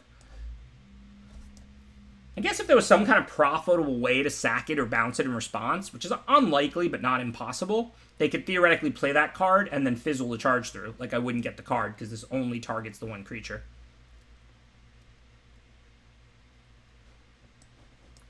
So I probably should have Elemental Masterpiece there and then Eureka Moment this turn. Um, I mean, I'm not under pressure. Like, they're obviously not like an aggro deck at all. So it's a close call. Like, I would be a whole turn faster and I don't need the resources, but I also don't really need to be a turn faster. Like, I'm taking no damage. So, like, this is the kind of situation where, like, the more pressure you're under, the more you wanted to go like elemental masterpiece in a eureka moment this game if i if you had the ability to just go island island eureka moment turn three forest uh, turn turn island island discard masterpiece turn three forest eureka moment the more pressure you're going to be under the more you want to do that because you're discarding this to you know be a whole turn faster. So if your opponent was like pressuring you at all it would be the right play but they've played five turns and i'm at 18 and they have three power on the board so I actually think my line was probably right, but I certainly should have discussed it at the time and considered it on turn two or one before I made it impossible to take that line. I mean, I probably had two islands in my hand by turn two. I might have played a forest turn one because I wasn't thinking about it, but I don't really remember what I had on turn two, but I mean, I've drawn five islands. Um, okay, so can't even helix. We don't have anything to return, so looks like we're chilling. It's funny because I think now I am going to discard the Masterpiece to play Bookwurm, but only because we haven't drawn anything else. Like if I had, um, you know, like if I had a red mana, I would never make that play this turn. But if I don't do it, I'm doing nothing next turn. And even if they counter it, I have a second Bookwurm and Helix to get it back, so... So obviously it would have been way better had I done it on turn two in retrospect. But if I had drawn a mountain over all these cards or whatever, I wouldn't do it right now. And I think it's really close, and you just have to assess the information. The real concept I wanted to communicate is the more pressure you're under, the more you want to make that take that line. The more pressure you're under, the more you want to trade resources to speed up, which is obviously intuitive. Um, but some people would probably not think about that on turn two, like me, like I didn't. Okay, so seven, eight mana. Just gonna play Bookwurm. I mean, the treasure lets us cast Prismari command, but Prismari command is not like super impressive right now. Like I can deal two and loot or something. I don't have anything I want to discard really. Um, or deal two and make a treasure so I can play my next red card if I draw one. And I mean, Bookwurm is just, you know, a, a really good card. If I draw a card off this Bookwurm, a draw step, a card off the next Bookwurm, a draw step, I'm pretty likely to find red by then anyway. No land, no land, no land. I have negate. Every turn after this, I can counter it. No land this turn. Wait, no. I mean, look, I can beat that card. Obviously, Bookwurm's bigger than the ground creatures. I've got plenty of life.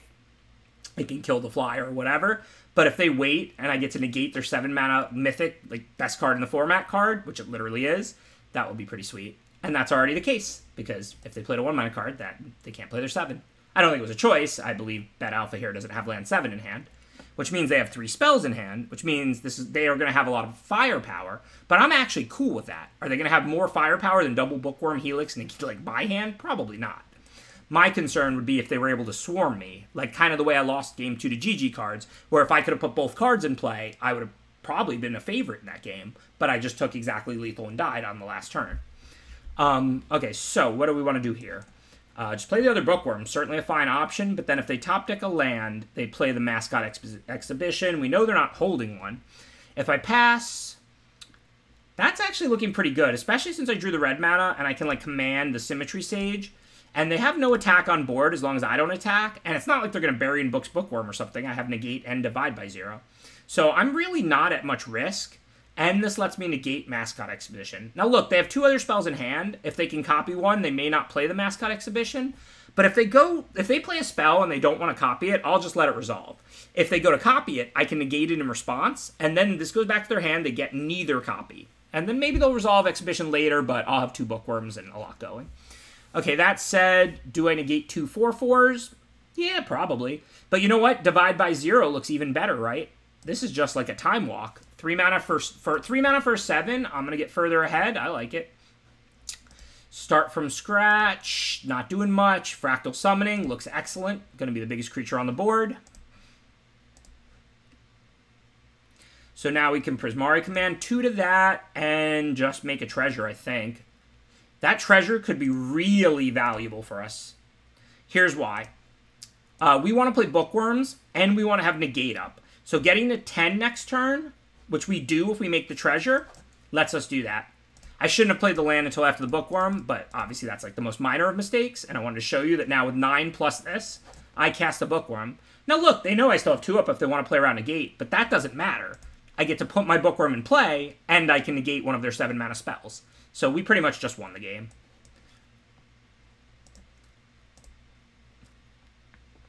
Looks like Bet Alpha agrees.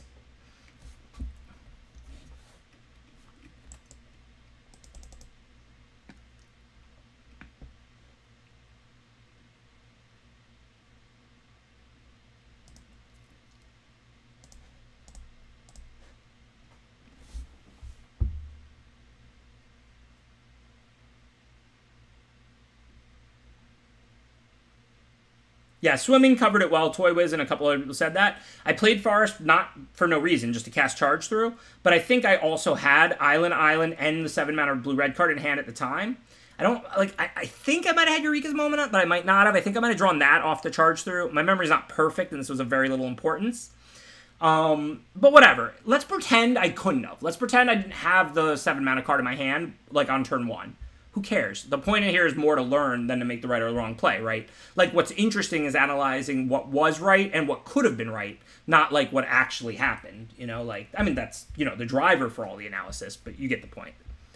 What matters is like what actually happened and the theoretical possibilities and what leads to the best outcome given that situation. Like analyzing the situation. Like at this point, it doesn't actually matter what actually happened. Okay, another great hand. Turn to Quandrix Apprentice. Here I'm going to play the tap land, not the charge through, no question. We are, I mean, there's no one drop in play, but even if I, even if this card didn't require a creature in play, I would still make the exact same play because it can be one mana, uh, draw a card, and put a basic land in our hand, and we already have a two drop, so we don't need to increase our chances at hitting hitting one. All right, I hope they don't kill it. I'm not really worried about it. Um, I'd definitely rather sequence than pop quiz this turn. So I think the only thing is might as well sequence pre-combat in case they do somehow kill Apprentice in combat, um, like with Befuddler or something like that. So we're going to attack with Apprentice because we don't really need more lands, and we're going to get to play Charge Through End Sequence this turn anyway. But we don't want to spew a free land off sequence, so we'll just do it pre-combat. So Forest... Oh, here's another thing that comes up in this format with emergent sequence that is, it might seriously have never came up before. I guess it comes up with mill a little bit also. So when you're splashing and, and you don't have like a bunch of like let's say blue red um, campuses, imagine I was only playing one mountain in the stack. I'd have enough red sources because I have like double emergent sequence. But if I search out my mountain and they kill it, now my red cards are off for the rest of the game. So if you're gonna, if you have emergent sequence, you normally want to play two of your splash land instead of one because you want to be able to go get it, and you have to be able to go get it, right? Because if you don't go get it, like you might draw a red card and not be able to cast it. So you, so when you cast emergent sequence, you unless you already have your splash color, you need to be able to go search for it. This way, if you draw your splash color cards, you can cast them.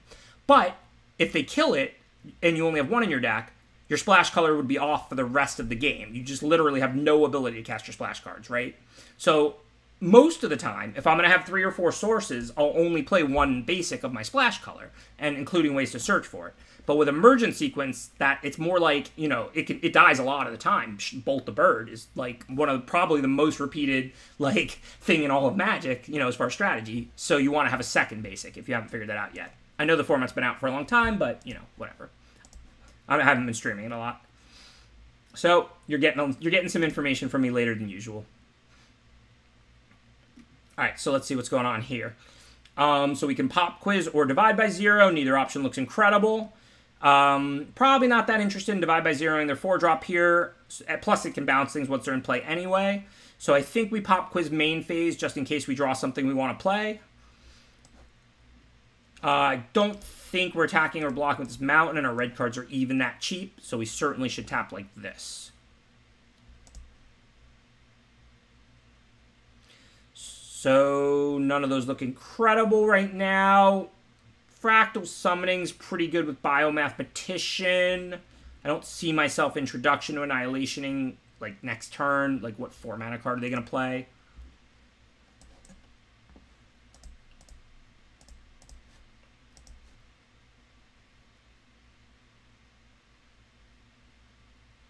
Yeah, I agree with that target player. Uh, I, I totally agree with that. It just doesn't super talk about the specific concept I was highlighting that you actually have to put a second basic in your deck even when you have enough sources with just one. I mean, I guess like because the steward will die, but my point is you're gonna search for that basic like almost every time. And then, like, you know, it's just a different point. But I agree with what you said as well. I agree that uh, Emergent is less rampant growth and more Steward of Valeron. Definitely agree with that. Oh, I see your point. So you're basically saying it don't count it as a source. But like it's weird because like I I would I would you can count it as a source as long as you can search for the mountain. So if you have two or three mountains, then you can count your um your emergent sequence as a red source. You just like can't have only one and count it as a source basically. Okay, so I whether or not you fractal something for four here is close because obviously we could sit on divide by zero. Given biomathematician's going to grow it, Elemental Master, I mean, uh, Elemental Masterpiece costs seven, and we have six. I think it's a pretty clear play. Yes, this can make an 8-8 in five turns, but just like I talked about in my game against GG cards, just like uh, just like I um against GG cards when I was like, so like you want to the more you want to tap your mana now, like to play this counter on a weak spell, is based on how much you're going to tap your mana after this. So like it's the same thing. Like I'm gonna, I have a seven to play. Then I have a three mana card to play that lets me put Introduction to Annihilation in my hand, and I have a three mana card to play. So I have effectively like 7, 10, 13, 18 mana worth of cards in my hand because I know Divide by Zero, as long as it resolves, will turn into like Introduction to Annihilation at the least. Okay, so if I want to attack with this, I need to grow it to a 5-5. That's a really meaningful power and toughness because it will give them no good block on it. If if I do that, what am I doing with the rest of my mana this turn? Kelpie Guide. That's a pretty good play. That's going to be at 8 soon. Or my other option is slam 2 4 4 elementals. Normally I would elemental masterpiece here, but if I attack with the 4 4, they block the 1 5. If I attack with the 5 5, they literally don't have a profitable block. So I think that makes it worth it. Um, just play the land so I can have divide by zero up in case they go to counter it. I'll like divide by zero in response. Get it back in my hand and fizzle the counter.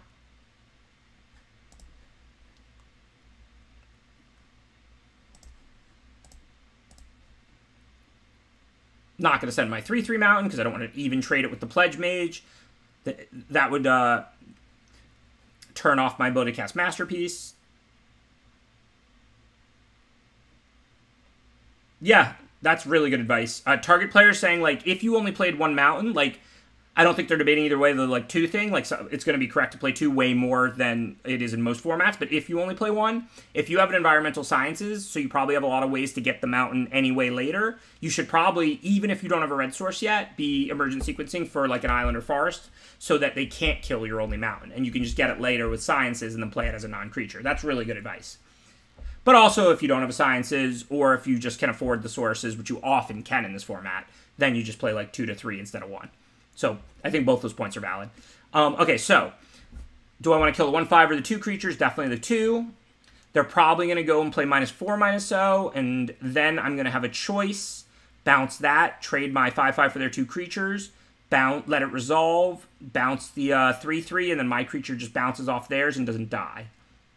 Sorry. Uh, well, no, yeah, I can't bounce the 1 5 because it would still die, so I'll have to bounce like Spectacle Mage, um, for now, I'm going to pass because if they don't do anything, I'm super happy with this trade. So I'm not going to like lead divide by zero here and then let them play their trick. So there's the subtraction. We didn't know they had that, but once they blocked, we pretty much knew they had that. Um, so now divide by zero. Think we just bounce that. Like we can play around it in the future, and this trade is quite good for us, I think.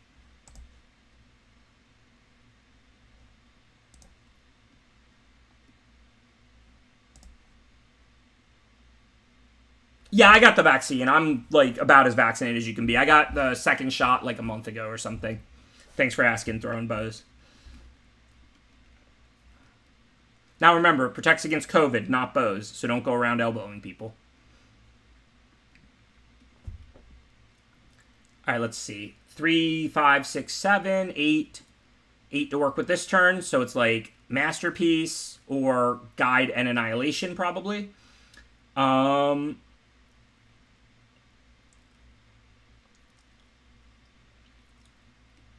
So let's see. In order to have a profitable attack, we'd have to Annihilation. Neither target is very good. And they have Arcane Subtraction up. So I'm not really looking to attack this turn.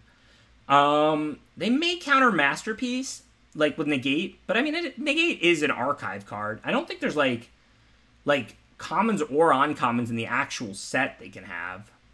And they're probably just leaving their mana up for Subtraction.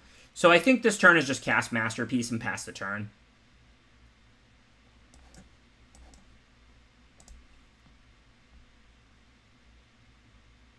Yeah, Test of Talents is an uncommon that can do it. You're right. Not like any big deal, obviously. I only have the one, and if, even if I had another one in my library, who would really care? But, good point. There is an uncommon that counters Masterpiece. And the, in this format, Negate and Test of Talents are literally, and I've been, the, and I don't say this lightly, the best I've ever seen them be.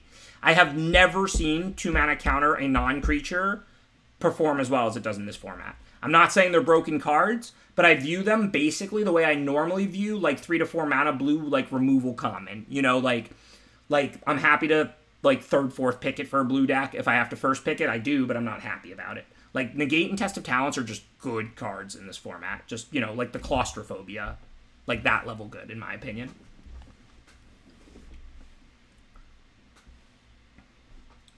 Uh, yeah, Guide in Annihilation's eight. Sorry, but we had eight. That which is what I said. Like what what we can do with eight mana. I may have muttered it was seven or something, but basically it was an option. Um. Okay, so what can we do here? If I annihilate the 1-5, they have shields down. I get a good attack with a 4-4 and a 3-3. I mean, they still have a lot of life, though.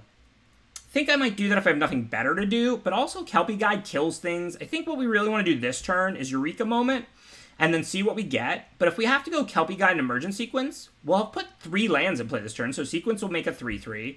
And then we have a tapper, so that next turn we can go tap and removal and just, like, have a great attack. So as long as they don't blow up the board with that rare that does, like, 5 to everything, we should be good. So I think we're going to wait for patiently for one more turn. I mean, don't get me wrong. I'll probably attack with the 4-4 and the 3-3 here. because um, that's basically free. Like, I have no problem with trading the 3 3 for the 2 3 if they want to double block and take 4.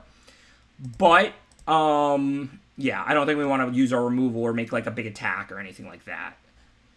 Um, so, yeah. I don't need blockers back, so these two I think can attack profitably. 1 5 on 4 4, take 3, or double block 3 3, take 4. I'm happy with either of those. I'm trading the 3 3 for 2 3, very small trade down to get in 4 damage, and this turns into a 3 3 unblockable later. So in reality, if they double block here, this is around an even trade to get in 3 damage, and if they uh, put, take put the 1 5 on the 4 4 and take 3, it's 3 damage. And if they take 7, all the better. I mean, I know I'm not an aggro deck, but I don't know why they wouldn't put the 1 5 on the 4 4. They really want to buy back Pigment Storm? Um, what does that signify? Even if they have the deal 5 to everything, it would kill the 1 5. It's not like it's deal 4 to everything. Like, they don't have a 4 mana card, only a 5 mana card. I don't know. I think I'm considering, now that I drew Prismari Command, and I feel like they just took a lot of damage and I'm up by a lot, not playing Kelpie Guide. I'm going to play Emergent Sequence, because it's going to make a 3-3 this turn, and it's, like, never going to do more than that. But I can leave Prismari Command up to use the mana, so I think I'm just going to chill on the Kelpie Guide in case they have a sweeper. I just feel like, I don't know, like, I don't know how else I can really lose this game. Like, my my deck is good for the late game. I'm not like an aggro deck, and I have so much ammo, and I barely even have lands left in my deck. Not because I'm flooded, I just put six lands in my hand because I played turn two Apprentice or whatever. But I'm going to play around a sweeper a little bit here because I think we're winning by enough to do that. So this just looks like I'll draw two, discard two, since I have three lands I can loot away. Thank you again, Quandrix Apprentice. Really appreciate your service. And honestly, two to them, not exciting. Uh, gotta make sure I'm doing the right one. Yeah, any target and then target player for the draw two. That's me. Two to them, not exciting, but I've got six creatures there too, and a removal in hand, and I'm about to draw two more cards, so I'll put them from 11 to 9. I don't really mind in this situation. All right, easy discard two lands. Who really cares which?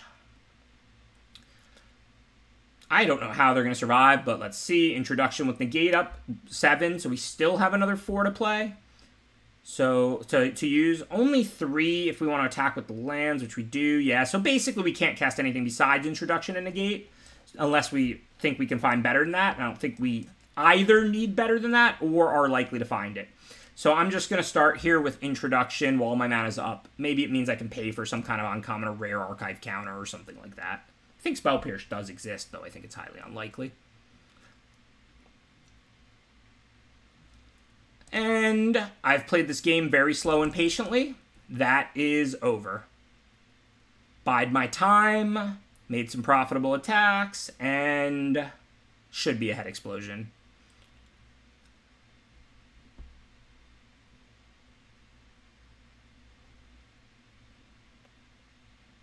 Since you can't negate heated debate, if they lead arcane subtraction, I I'm gonna negate it.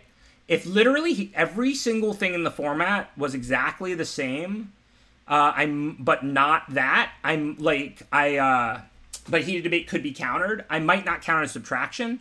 I know it's not lethal if I don't counter it, but like they could very easily have two things. They've done so little this game. Uh, but obviously I don't have to counter that because now I'll just counter the uh, subtraction and they're dead.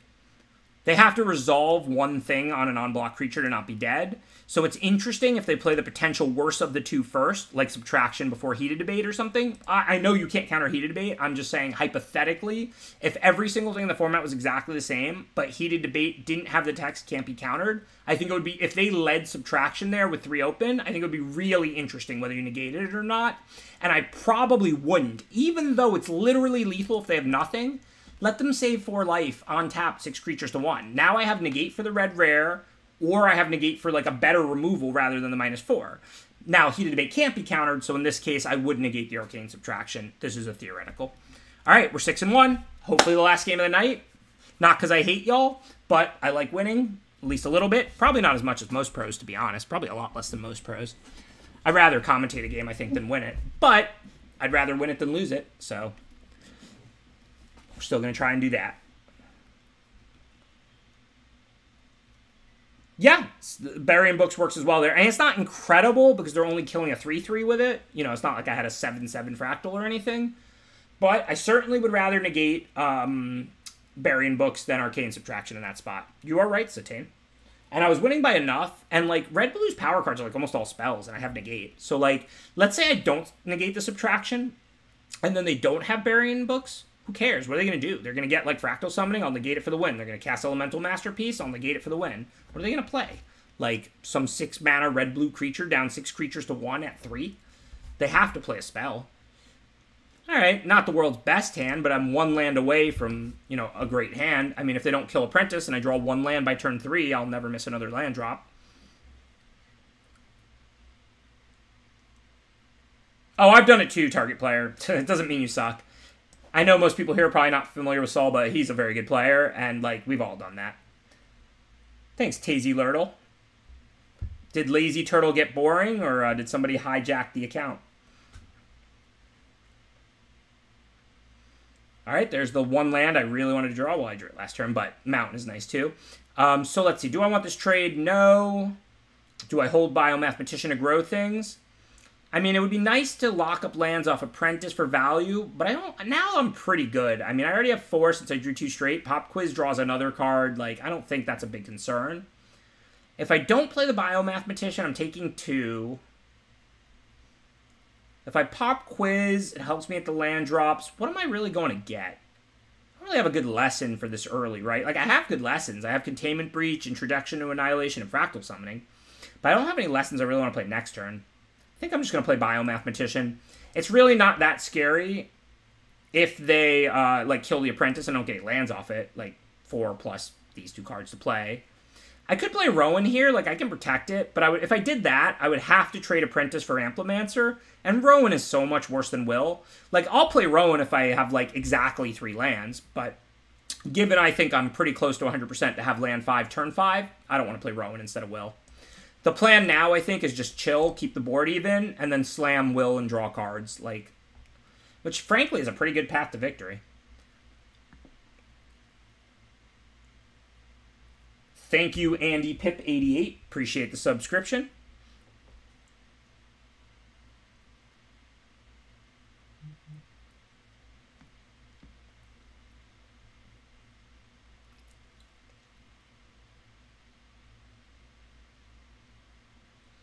You're welcome, Kenyan Thunder, and I'm glad you're liking um what you call it, MH2.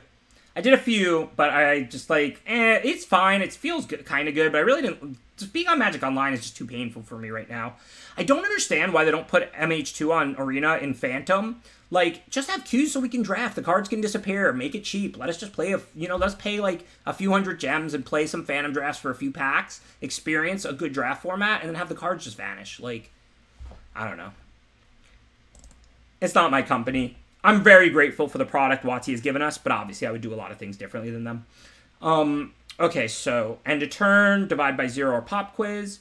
Normally I would pop quiz, but if I'm gonna play will, I probably want to divide by zero.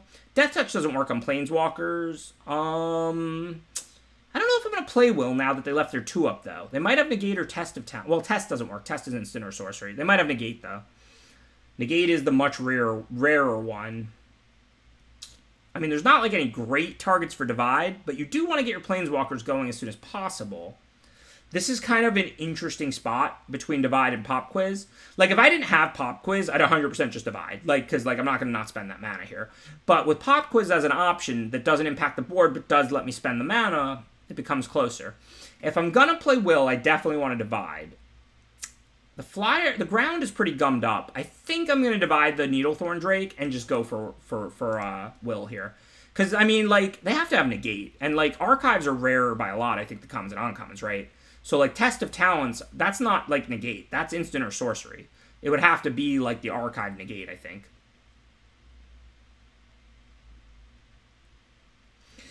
It's really complicated, King of Gods.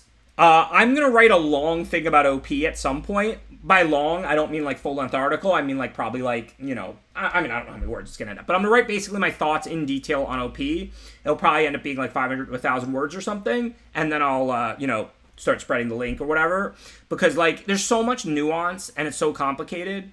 Like for example, I hate what they've done with OP, but I think getting rid of the leagues at this point makes sense because like they ruined them already basically. So like, you know, I mean it's like I don't even know like do I support like getting rid of the leagues? Well, what's going to replace them? Like could they have just been fixed instead? Was that an option? Like I mean like you know, like with their marketing budget, if they just did the things that would make organized play, you know, awesome, they have enough money in the budget to do it. I mean, based on what they've spent in the past, obviously I don't know what Hasbro is giving WotC for, you know, 2022 or on or whatever.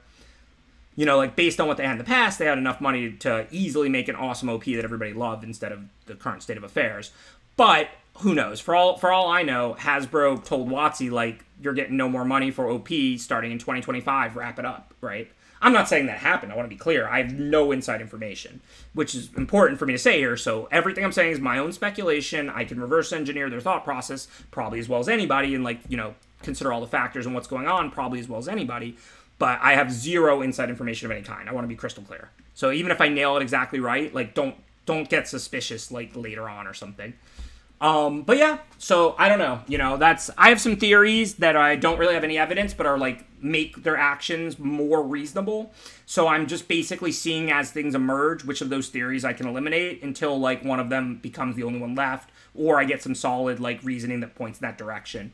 I really don't know why they chose to spend a ton of money disintegrating a 20 year built OP. Like mind boggling to me. So Um, okay, so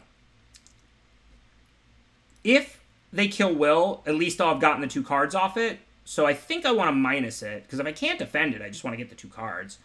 If I pop Quiz, I can get Containment Breach or Introduction to Annihilation. Oh, no Sweatic, so that's an awesome draft, and I'm not even sweatsuiting. Then this is my last game. Uh, please, by all means. I have no idea what that was a response to, but uh, Limited Resources versus Lords team draft sounds awesome.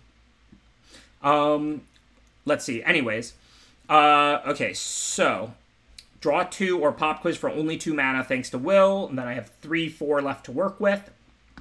So I can play introduction thanks to Will, and then I can also use Will.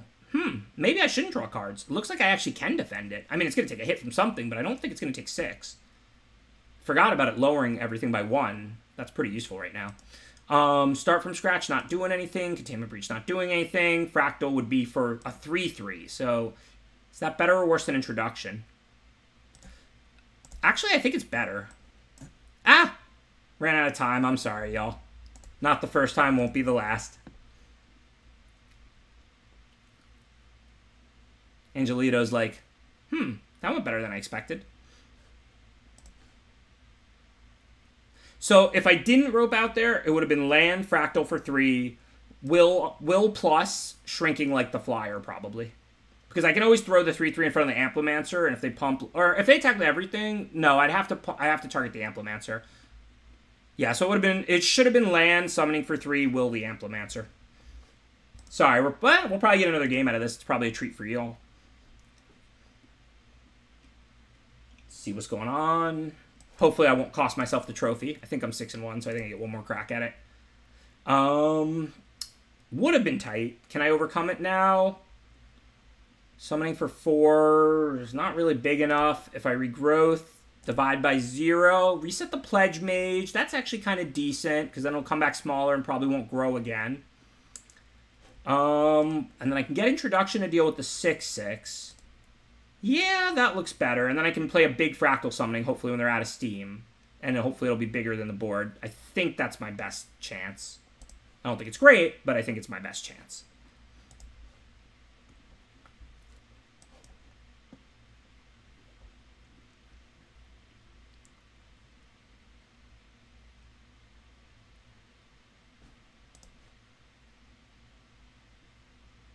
Okay, so 2-2 doesn't have a profitable block on anything. So I think we're blocking Amplimancer. If they pump, they can't recast something, so we get a decent amount of value there.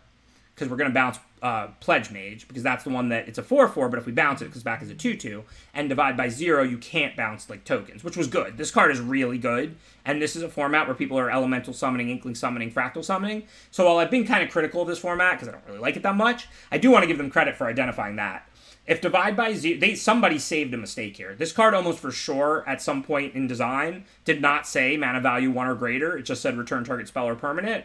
Learn. And then they realized it was going to be way too good and limited with fractal summoning and like elemental summoning and all of that running around. So they added it so that it couldn't bounce tokens, which made it good but not busted. So whoever actually is out there in R and D who made that change, credit to you if you end up hearing my stream or whatever at some point. That's a really big save from a busted uncommon. Um, okay, so introduction.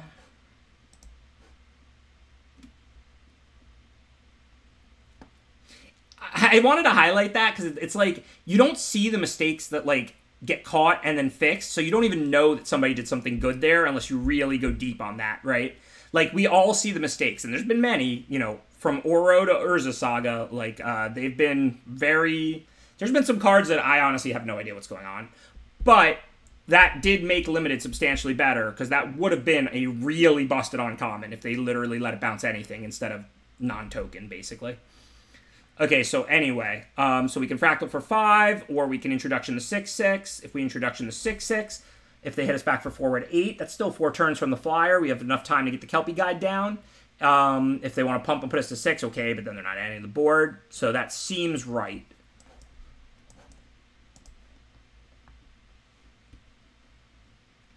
Well, I would guess that the name would come last there, that they named it Divide by Zero after they added the one line of text for like practical reasons. I mean, if it just had the name Divide by Zero and then they like we're like, okay, what do we call? Like, I'm guessing they make cards and then give them names, not they give them names and then make cards around the names, basically. Obviously, I don't know the order every single time. There's probably like, you know, cases that go the other way or something because like a card has a name and then they figure out like a cool way to change it to make it like line up with the name more. Like, you know, you don't just work on it once. But I would hope the actual starting was design cards and then name them, not like here are your names, now design cards around them. Um, okay, so let's see. So, as planned, they put us to six. We can Summoning, which will stop the Amplimancer, and then next turn we play the Kelpie Guide. I don't really see how we have any choices. If we played the Kelpie Guide this turn, we'd have to take the Amplimancer. It would just be the same or more damage. Three, six, eight. So that's six mana. Yeah, oh, negate won't shock me here at all, or test of talents wouldn't shock me here at all. But remember, this is the game Burnator where I like rope through that one turn, and this is still somewhat tight. I'm not saying I would have won, but I certainly wouldn't be under any pressure if I would have drawn those cards off, or if I would still have plus will and fractal summoning for three and everything. But yeah, uh, I don't think. Um... Oh, I'm sure it goes in both examples, and I'm sure it goes both ways, Invictus. But yes, concepts and mechanics first, I would hope. Like I would hope that they make cards and then name them and then try and make them cooler for the name if possible. That they wouldn't be like, oh, a card has a name divided by zero. Let's drastically change its effect on the format or whatever. You could just change the name. Okay, so six and two, gonna be the last game. Probably would have lost that game anyway, even if I didn't rope out. They still had a lot of business at the end. Would have been tight though, so sorry about that. And let's try and uh, win this one, get the trophy since we did not succeed in the sweatsuit tonight. Finish on a little high note here, and then who should we raid? Is GG Card still cooking, or did they lose like round two or three after uh, they beat me?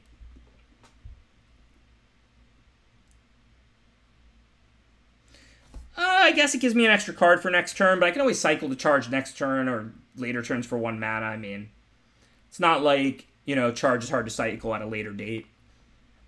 If I had like two sweepers or something where like I could play the charge first, and then if I hit a sweeper, I play it, and if I don't, I play summoning for one less, I'd be a lot more inclined to do it.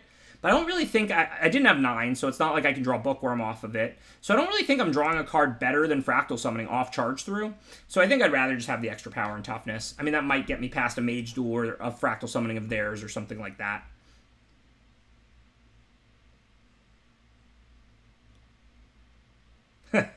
That's pretty funny, Matumania. Go get that mountain. If they kill it, no problem. We still have another one to search out later.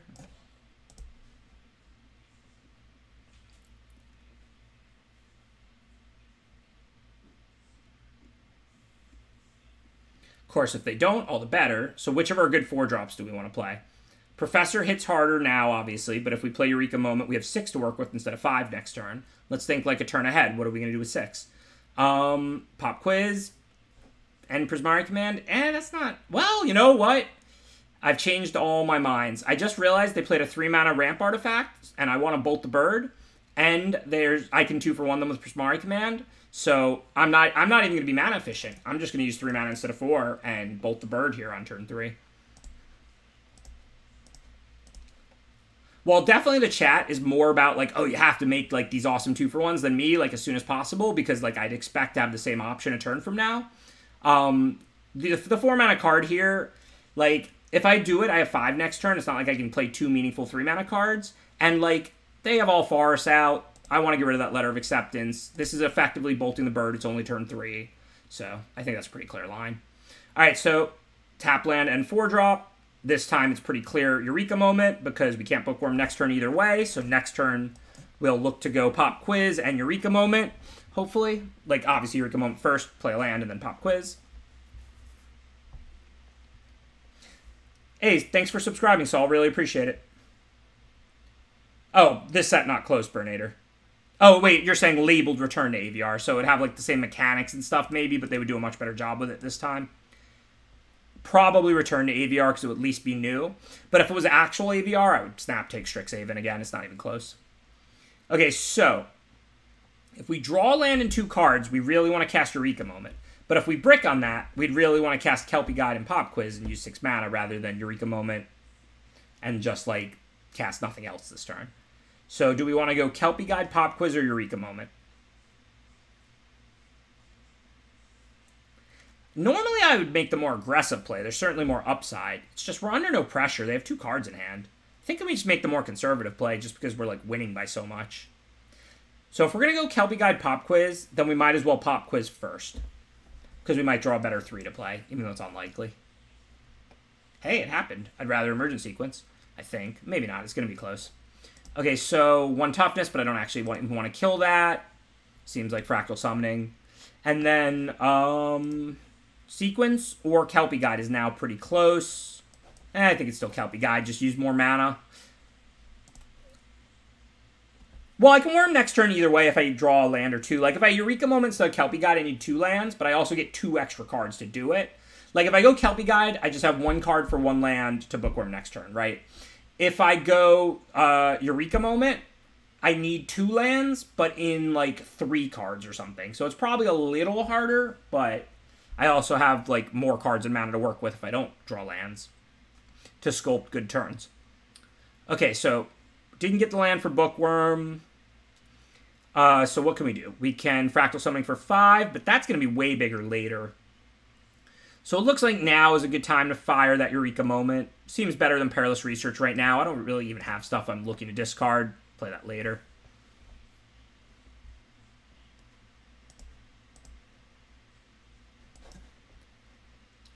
Okay, and now we put like extra lands in play, so pretty easy emergent sequence, I assume. And this even turns on Kelpie Guide. Maybe I'll just tap one of their lands. I don't think their creatures do anything. This shouldn't even be legal. Probably shouldn't have gotten the mountain there in case they play some kind of sweeper, though I don't even know if that's going to be possible. I'm, I'm going to tap their uh, campus on their upkeep. This might be the first time I've tapped... Nah, it's not the first time, but it's pretty rare I tap a land with Kelpie Guide. I mean, you know, by the time you're playing that late in the game, normally you're not shutting th much things off by tapping a land. But I've ramped like crazy. This I don't know if they've missed a land drop. I think it was only turn six.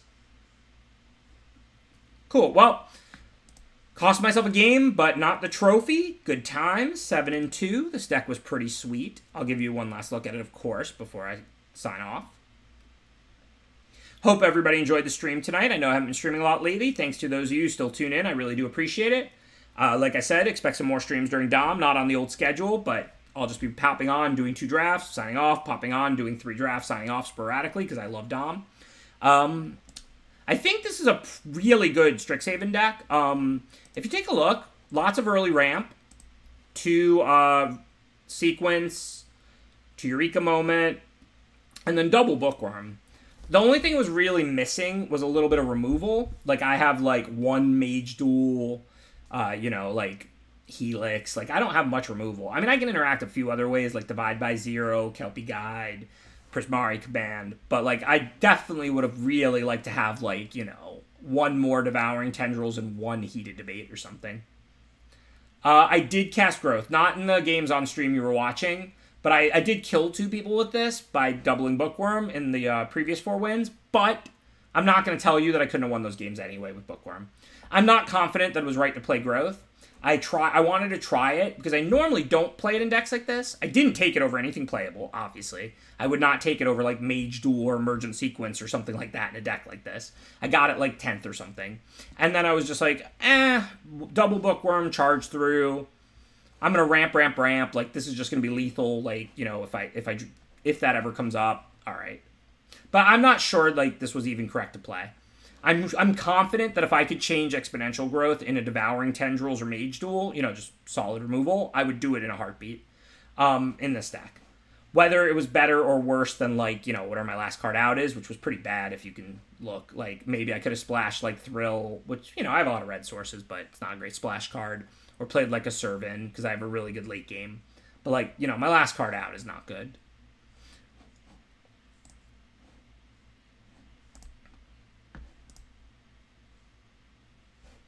All right, thanks to everybody who tuned in. Like I said, I really do appreciate it. I appreciate the support.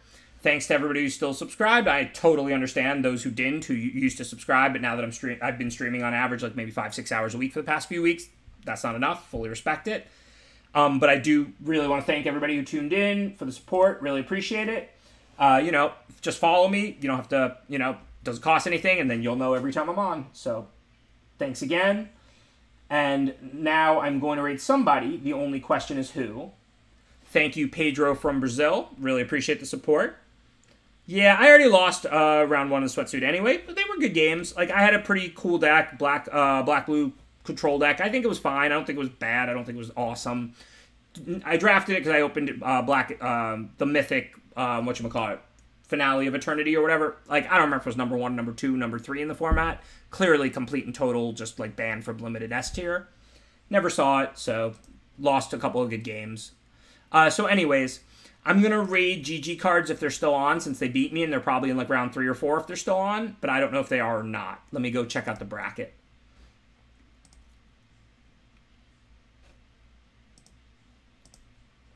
It's cool. They have this live uh, interactive bracket, and they are not still on. Uh, they lost to Icky in round two, and it looked like Icky and Kirsten's are playing the finals of our pod now. Um, anybody cool still in? You can read Metal Mario. They're waiting on the semis. The only thing is, it might be a little bit of a wait because the other uh, match is still playing. I do like Metal Mario though. Hey, you're welcome. Thanks for supporting it. I really appreciate it. Um, let's see. So, who should I raid? Anybody got any opinions? Uh, it's certainly open for debate tonight. Metal Mario seems like a reasonable option. They're they're in the top four of the sweatsuit. Well, GG card's still on. They're out of the sweatsuit. I mean, I was gonna raid them if they were still in. Marshall, yeah, we could raid Marshall. I mean, if the sweatsuit was over, I would snap raid them. Uh, it's just the sweatsuit's going to the top four, and they're like just getting started. So I think it makes more sense to uh, raid somebody in the top four the sweatsuit. So I'm gonna raid Metal Mario hopefully they're playing some games in between or showing their deck and talking about it, or we'll give some good chats. I mean, I'm gonna go and uh, they're a limited streamer. Like I like Metal Mario. I don't know them that well, but they stream only limited. I think like drafts all the time. So gonna give them a raid. Uh, let's see. I can drop you a link to the bracket. That's not that's not secret. I don't know if I still have it up though.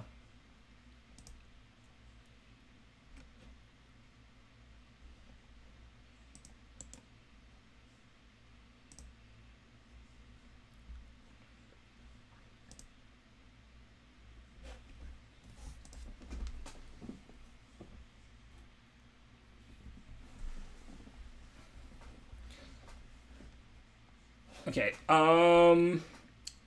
So yeah, Metal Mario raids.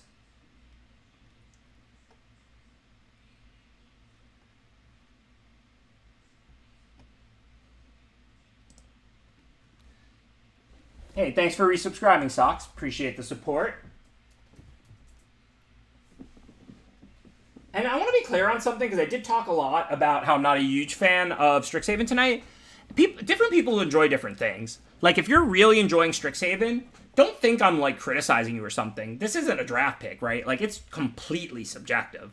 So I mean, you know, to each their own, totally. I'm just gonna give you know my opinion, obviously, because you know it's me talking. But I'm not saying like there's anything wrong with enjoying Strixhaven or something. Um. Okay, so Metal Mario raid. Their name's just Metal Mario, right?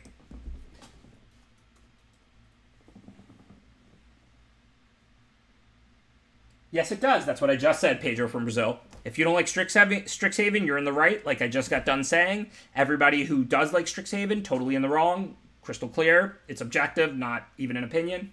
So, you're we're, you're uh, you're absolutely correct, Pedro from Brazil.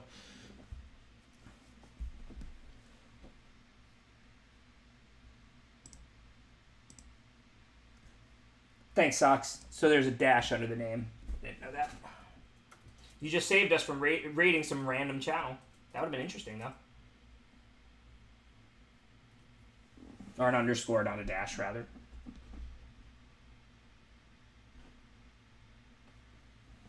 I wonder if the, their name is Metal Mario because they listen to metal. I mostly listen to pop. I'm kind of the opposite. Need to like raid, raid them and then spam like Taylor Swift or something.